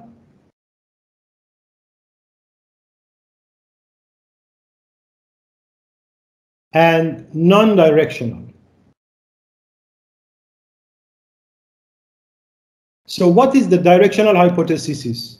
In directional hypothesis, always the researcher, prior to conduct the researcher, had some expected, uh, what you call it, results. For example, I, according to the literature, most of them, they mention that the quality of life among female is more than male. So we already know something about the, what you call it, the difference or relationship according to the literature or pilot study or observation. So if your hypothesis is directional, you mean in your hypothesis you already mentioned about the difference or relationship, or maybe you say that, especially for example for relationship, if you want to look at the relationship between quality of life and stress, of course, it's an obvious, this relationship is negative relationship. So it means high stress will lead to the low quality of life. So if in your hypothesis, you already define the direction, so means you mentioned that it is expected that the female has a better quality of life than male, or in terms of relationship, you can say that the stress is negatively correlated with the quality of life among undergrad students in UM, then this is called directional hypothesis. Non-directional hypothesis means we don't know, we don't have any idea. We want to test whether female and male are different or no, or whether quality of life is correlated with their stress or no. We don't have any expectation. We don't have any idea. So in this case, we have non-directional. When we talk about directional hypothesis, always we use one tail test or one-sided. Non-directional is two-tailed. Why? Let me to show you something here.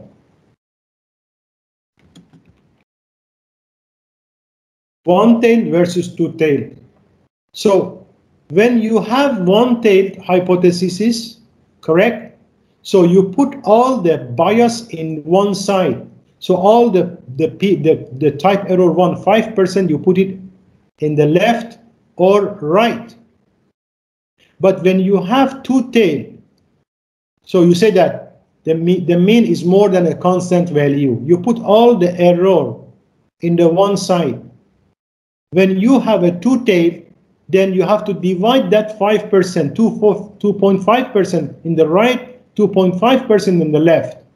So that's why the Z value will be different. Correct? So I refer you for those people who are interest who are interested to know more about the one two tail test, go to this video. Correct? And watch this video. So back to the back to the G power. So now it is very important. Look at here. If I calculate sample size by one tail, you need 176 sample. If I click on two tail, then I need more data. Correct? So that's why the type of the hypothesis is also affect on your sample size calculation. This is one of the most critical consideration that need to be, uh, what you call it, uh, defined in the process of sample size calculation. Followed by that, the alpha is always 5% fixed. The beta, the power is 1 minus beta. As I mentioned earlier, the, the minimum acceptable power is 80%. Right? And then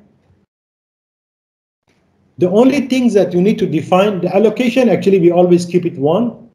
The only things that you need to define is the effect size. So as you can see here, there are three types of effect size, a small, medium, or large. As a default, the softwares always consider a medium effect size. But what do you need to do? You need to calculate your own effect size according to the literature. Suppose that you, you go to the literature and you can find similar studies that they compare the differences between male and female. So this is the reference one, reference two, reference three. Maybe you have five references, and according to each reference, you calculate the male and female mean and standard deviation, and then followed by that, you calculate your effect size. In the study one, the effect size was 0, 0, 0.19. The other one, you calculate your effect size by that online calculator. You remember the effect size, Dr. Lee? You remember this calculator? Maybe this is only for one statistical test. Remember, this is only for Cohen D, for comparing of two means. So then, for example, the second one study was conducted. They found that 27. The third study, according to the mean and the standard deviation, we found that it's 0.59 and so on. 0.3.1 and 0.3.3. So in order to secure your sample size, you need to take the lowest effect size. According to the reference one, which was similar to your context, the smallest effect size was 0.19. So that's why, in order to calculate your sample size, suppose that my hypothesis is one tail. I believe that female are better than male. That's why I choose one tail. And then suppose that the effect size is 1, 9. So by this the sample size, the minimum sample size that I need to calculate to detect that effect size in one tail with type error 1 5%, type error 2 20% will be 688. And that sample size will cover the adequate power. But if I increase the num the power by 90%, definitely the sample size will be. But if I increase the effect size, for example, by 3.3, so look at here, definitely I need a small sample size. So you need to play around, of course, for all this input, especially for the effect size. The one tail, two tail is very simple. This is always we fix with 5% and 20% for the type error 2. The only things that you need to identify is effect size, either from a pilot study or from a literature review. So then you can calculate your sample size. So in order to calculate, in order to, uh, what do you call it, conduct this study with expected effect size of 0.33, one tail, I need 230 samples, 150 from male and 115 from the female. So always, you can also draw the charts as an evidence. Maybe you can report it, especially if you have a student that is going to do the research, ask them to draw the plots. These plots, later they can copy and then they can just paste it in their research. So this is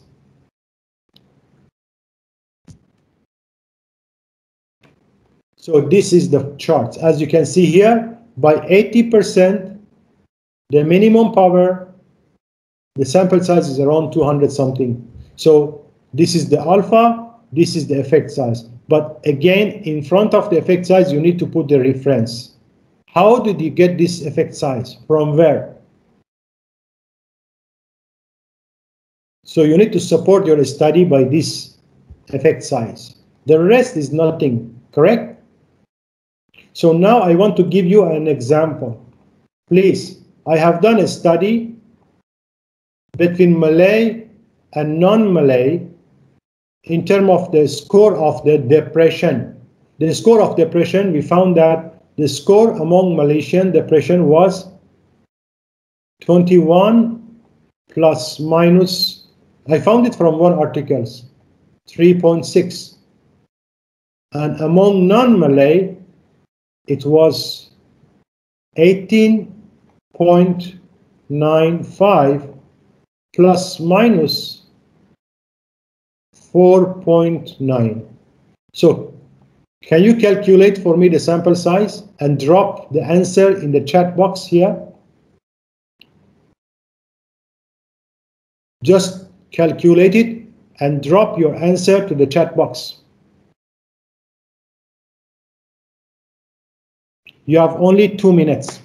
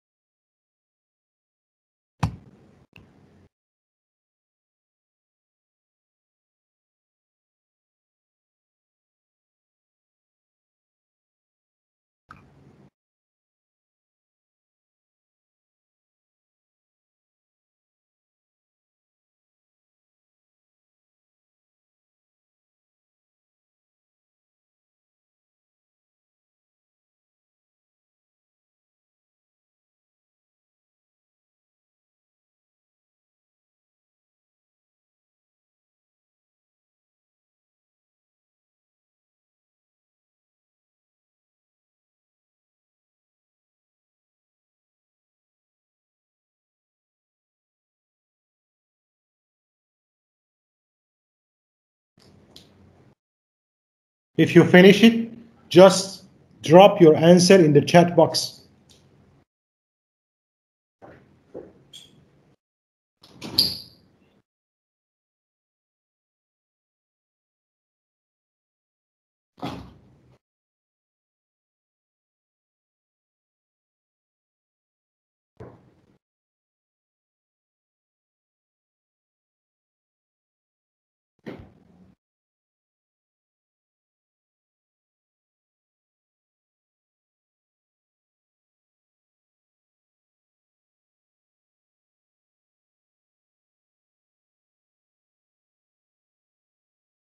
146 for two sample or for one?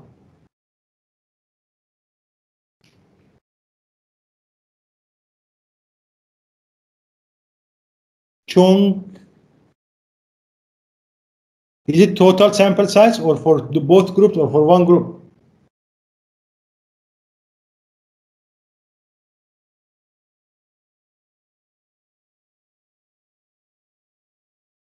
For total, thank you.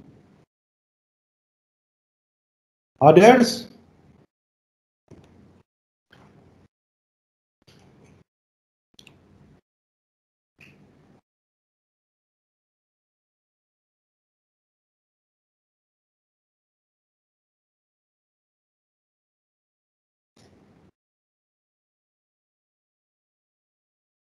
Only one person.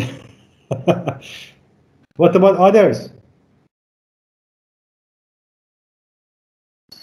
Mahmoud, I don't know how to key in that uh, effect size.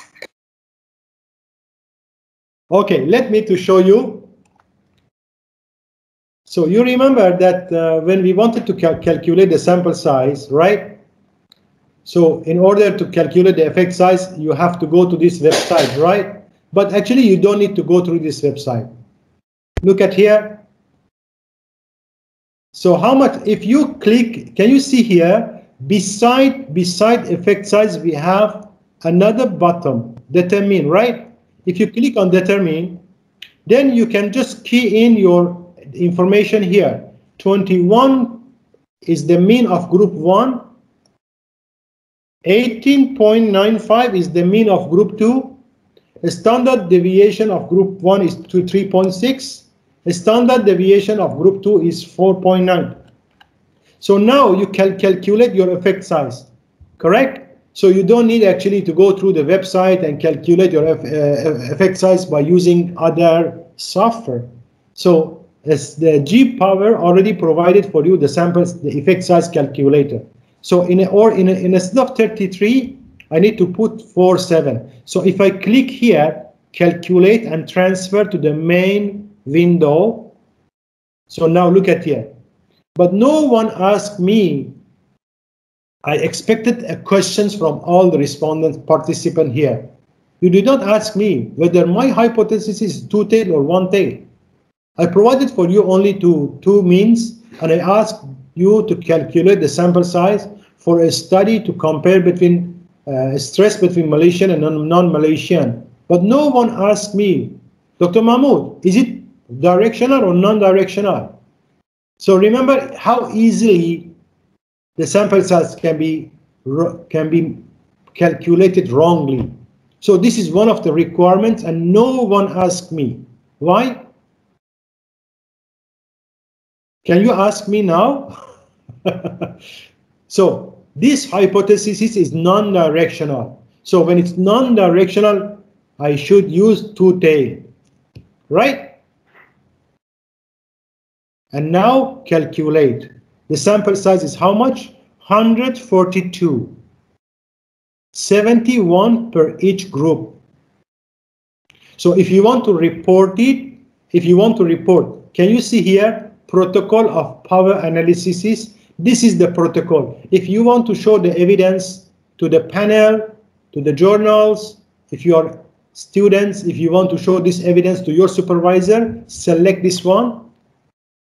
Control C, copy, and then open a Word file here. Paste. So now look at here. And in front of the effect size, I open a bracket. I said that Mahmoud et al. 2020. So I support this effect size by, by a reference. And followed by that, I draw the plots, draw the plot, right click, copy to a clipboard, and then paste it here below this table. So now this is the evidence of sample size calculation for the current example. The most important thing is here. Look at here. Information that we provided here. Effect size, two-tailed, alpha, power, and this is the total sample size. Clear?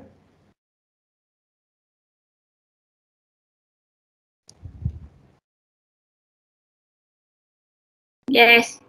Good. Now the next question. I am doing. Um, um, I decide one of other one of the other research objective of this study is to investigate the relationship between quality of life and stress. According to the literature, we found that the relationship between quality of life and stress among the literature is 0.313 according to a literature. So how much, how many samples do I need? Again, I will give you only one minute to find the answer. This is about relationship. Remember, the first one is about the comparison of two means, and this is about relationship.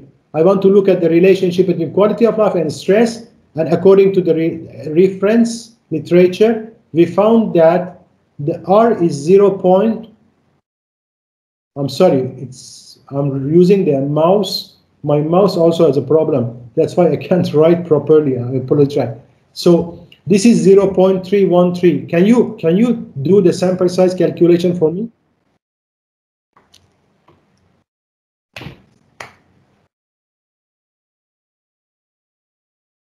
you have only one minute. Correct sample size, you will receive a free voucher of consultation one hour. Free of charge. This is a gift. Anybody who calculate the sample size correctly, I will provide one hour free consultation. Omo, will you pay me or no? Later. Miss Omo is not here. I'm here. Okay.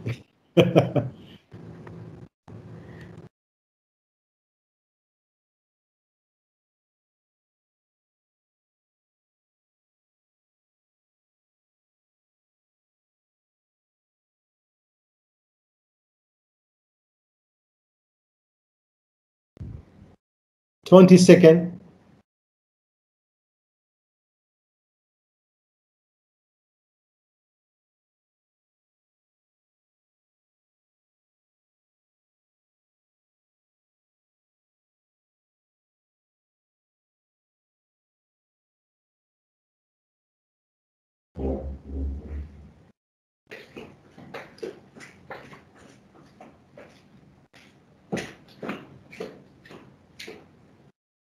Hello, finished or not?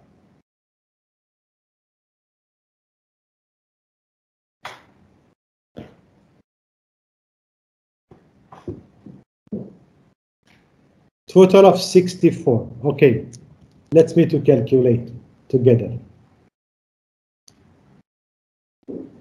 So what should I do? I need to go to test, go to the correlation and regression. So then probably they are bivariate continuous data. You go to the bivariate normal distribution. Then again, according to the questions, I just want to test this relationship, but I did not mention about the direction, right? So that's why I need to use the two tail. The correlation coefficient was how much? 313. Alpha is 5%. And then power is 80%. How much is the sample size? 77.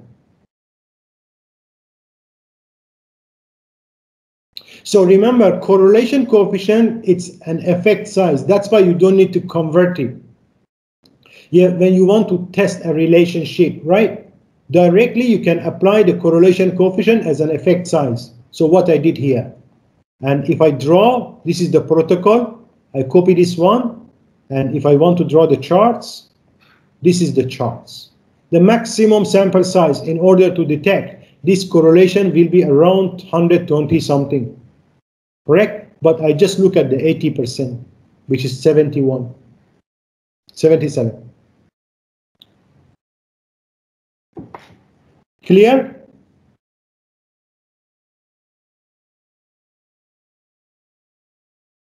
Any question? Yes. Okay, so suppose that you want to compare, you want to compare the differences between Malay, Chinese, and Indian. So how many groups do I have? Three groups. In order to compare the mean between three groups, if your outcome, you go to the means. If you look at here, many groups ANCOVA, many groups ANOVA. So if you if you apply ANOVA, again, you need to calculate the number of groups. How many groups do I have? Three. The power is 80%. So as you can see here for ANOVA, we don't have directional or non-directional hypotheses because it's multiple groups.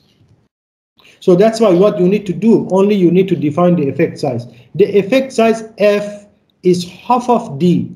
Remember the effect size of D? This is the Cohen D, right? The Cohen D, if you want to calculate the F, because we have the F value also, the F is another measure for comparison of the effect size. So the F is equal to the half of D. So that's why the system already set by 2.5 as a medium effect size. So once you calculate, look at here, if you click on the determine, then you can put the mean and size, and then you can calculate the, what you call it, the standard deviation of error, and then you can calculate the effect size based on the literature. Or maybe you compare two by two, and the smallest effect size can be considered to be entered to the effect size F. But remember, this is not the D, this is the F. Suppose that if you calculate this effect size based on this literature, for example, 99, 0.99, you cannot enter 99 here. You have to divide it by 2. Why? Because F is half of D. Even if I go here, look at here, the effect size, F my f is how much? Sorry, d. My, my d is 0.99. It's equal to what? 0.9495 as AF. So then in the G power, I need to put that 495. Then calculate your sample size. How many samples do I need? 45 for the total sample size. Okay, I think uh, we don't have too much time. There are some things that I want to mention, but remember, again, this workshop is just trying to introduce you the right way of sampling techniques and sample size calculation. Definitely, in the, the sample size calculation, as I mentioned earlier, it depends on the nature of your research hypothesis of course, followed by that, your statistical techniques. So that's why you need to define all the statistical tests and all the outcomes.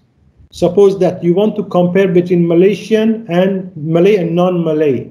So, and you have three different variables. You have stress, you have depression, and you have anxiety. You need to calculate the sample size for each of them separately.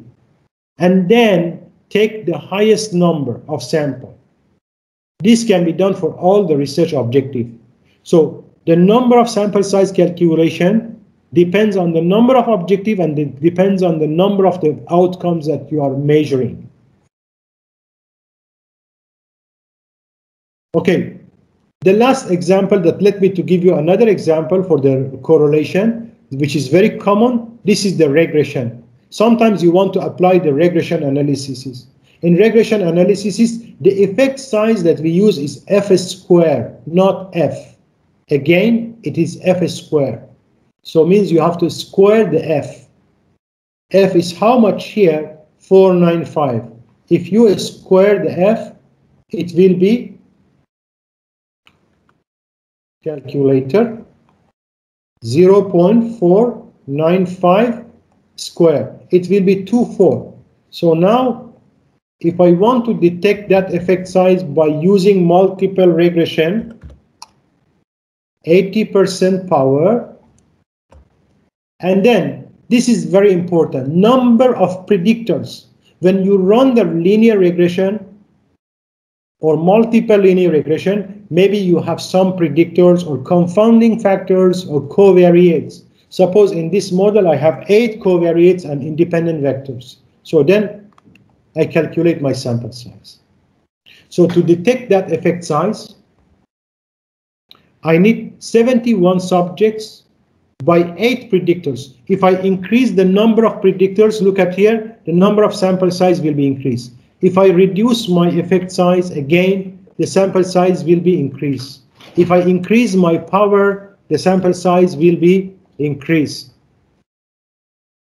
Correct? Okay, so that's all for the G power. Let me to go back to my slides. Can you see my slide now? Yes. Good. So there is another software because actually the G Power mm, is free and easy to use, but the point is that the G Power does not cover all statistical tests that may you need to apply. So in order to uh, what do you call it, cover all statistical tests, I advise you to go to the another software which is called PASS. So if you search for PASS, it is it provides one month's free trial. So if you search for PASS sample size, you go to this website. The latest version is 2021, and it, it's an amazing software. It covered, to be honest, I can say 90% of statistical tests. So all the statistical tests that you need probably can you can find it through these statistical softwares. Of course, it is a bit expensive, means if you want to buy it, the price is around 2000, correct? Uh, for the personal use, uh, if I'm not mistaken, it's around, uh, not for the network, it's the range is between 1000 to 2000 US dollar. But of course, it is not rational to buy these softwares for a personal use. Uh, maybe you just use this free trial. The trial is here, correct? Or maybe uh, if you even if you don't access and if you because in the free trial, if I'm not mistaken, they do not provide all statistical tests. They selectively they uh, provide some statistical tests, but don't worry. So if you want to calculate your sample size,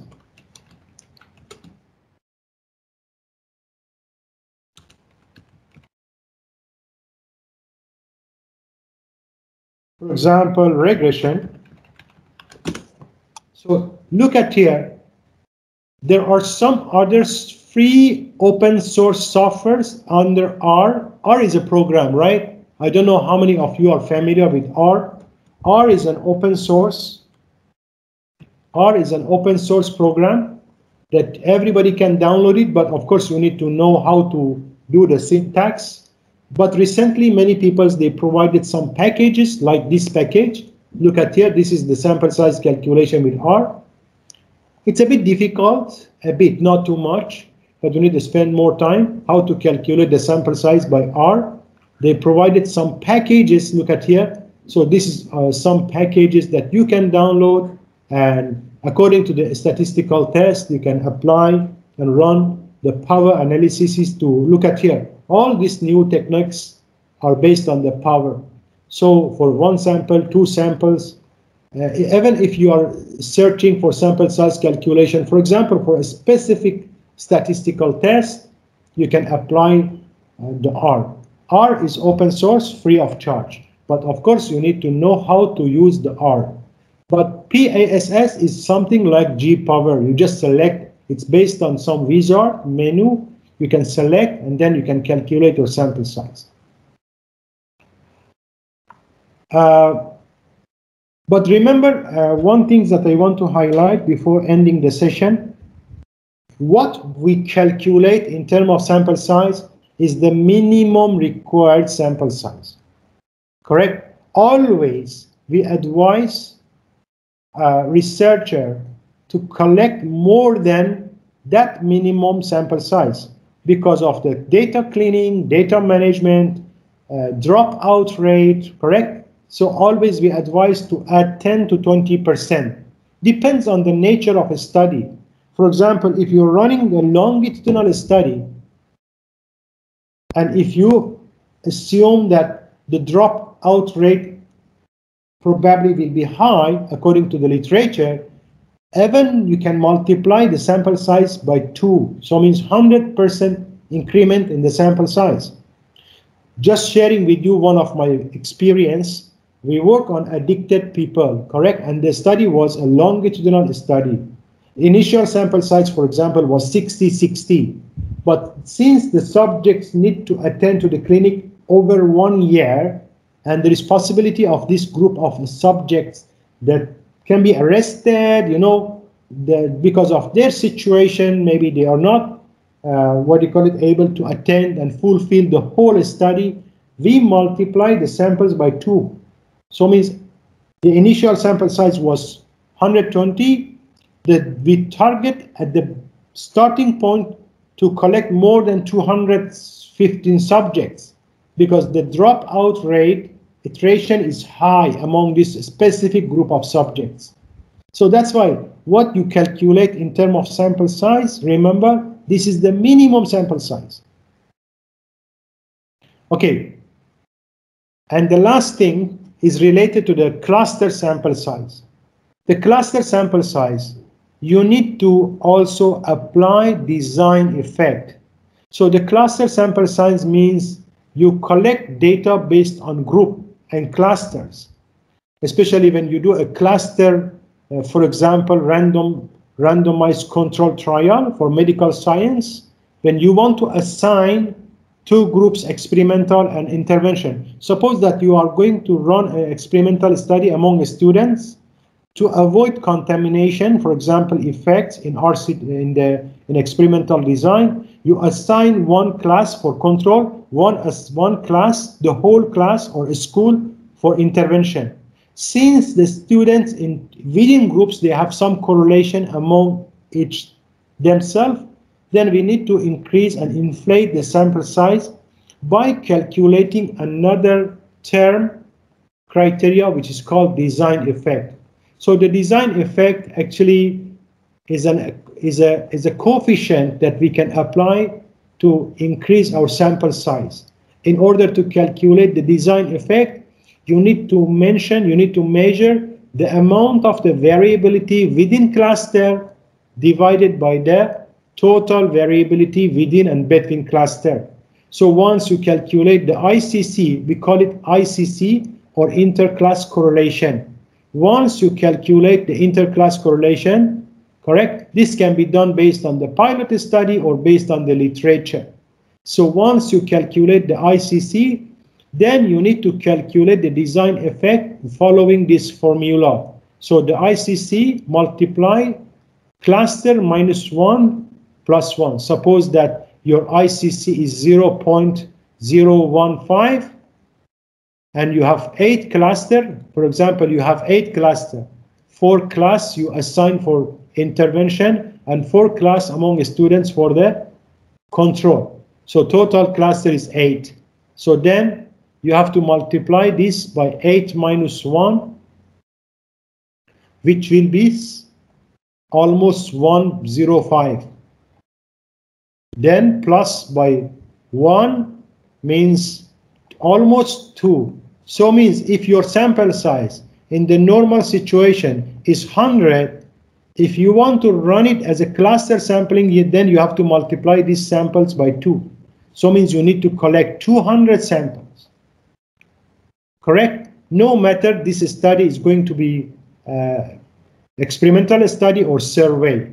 So if you go, for example, to this online calculator, OpenEpi, especially for the epidemiological studies, if you go to the OpenEpi website,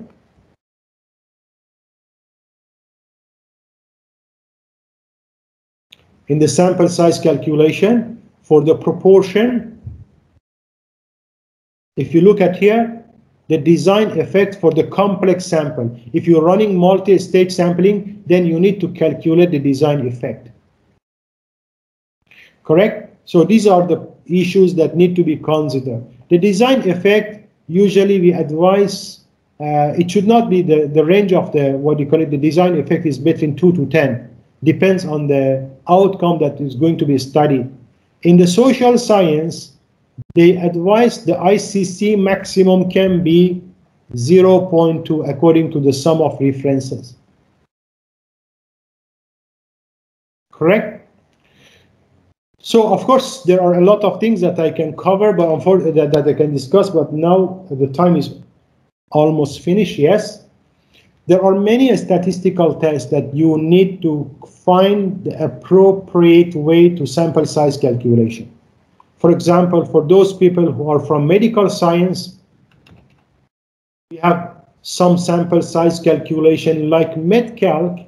If you want to calculate the sample size for area under curve, sensitivity, specificity analysis, then you need to find the right sample size calculator based on the power analysis. Or even if you are doing the sample size for SEM, sample size calculation for the SEM. So this is another online sample size calculator for the structural equation modeling. Again, as you can see here, the point is that both alpha and beta should be there. But this sample size calculator for structural equation modeling, of course, you need to identify the number of the latent variables, the number of observed items, and then you can calculate it. So this is the formula reference. This is one of the interesting website. I just drop it in the chat box for those people probably are using the the structural equation modeling. So for those people who apply the structural equation modeling PLS sample size, then sample size SEM PLS, then you can collect data sample size. Look at here in the research gate. This is the table. This table actually is based on the power analysis and depends on the number of the uh, exogenous variables or predictors a different level of significancy, a different level of R square as an effect size. So this is already calculated. But as long as it's based on the power, still you can report it. Okay, so that's all for today. Thank you for your patience. And I'm sorry if there was any issue in the process of the presentation uh, shortage. and uh, I hope that you enjoy from this topic and make sure that you need to continue, correct? So this talk webinar, try to introduce you the right way of sample size calculation and sampling techniques. Definitely, for further information related to your research, you need to investigate, you need to collaborate, you need to negotiate, contact experts and find some literature review, find other softwares, and make sure that your sample size calculation is based on the right way. Any question?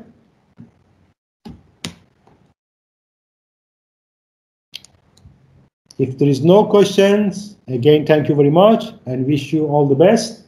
Take care, stay safe during MCO, and have a good day.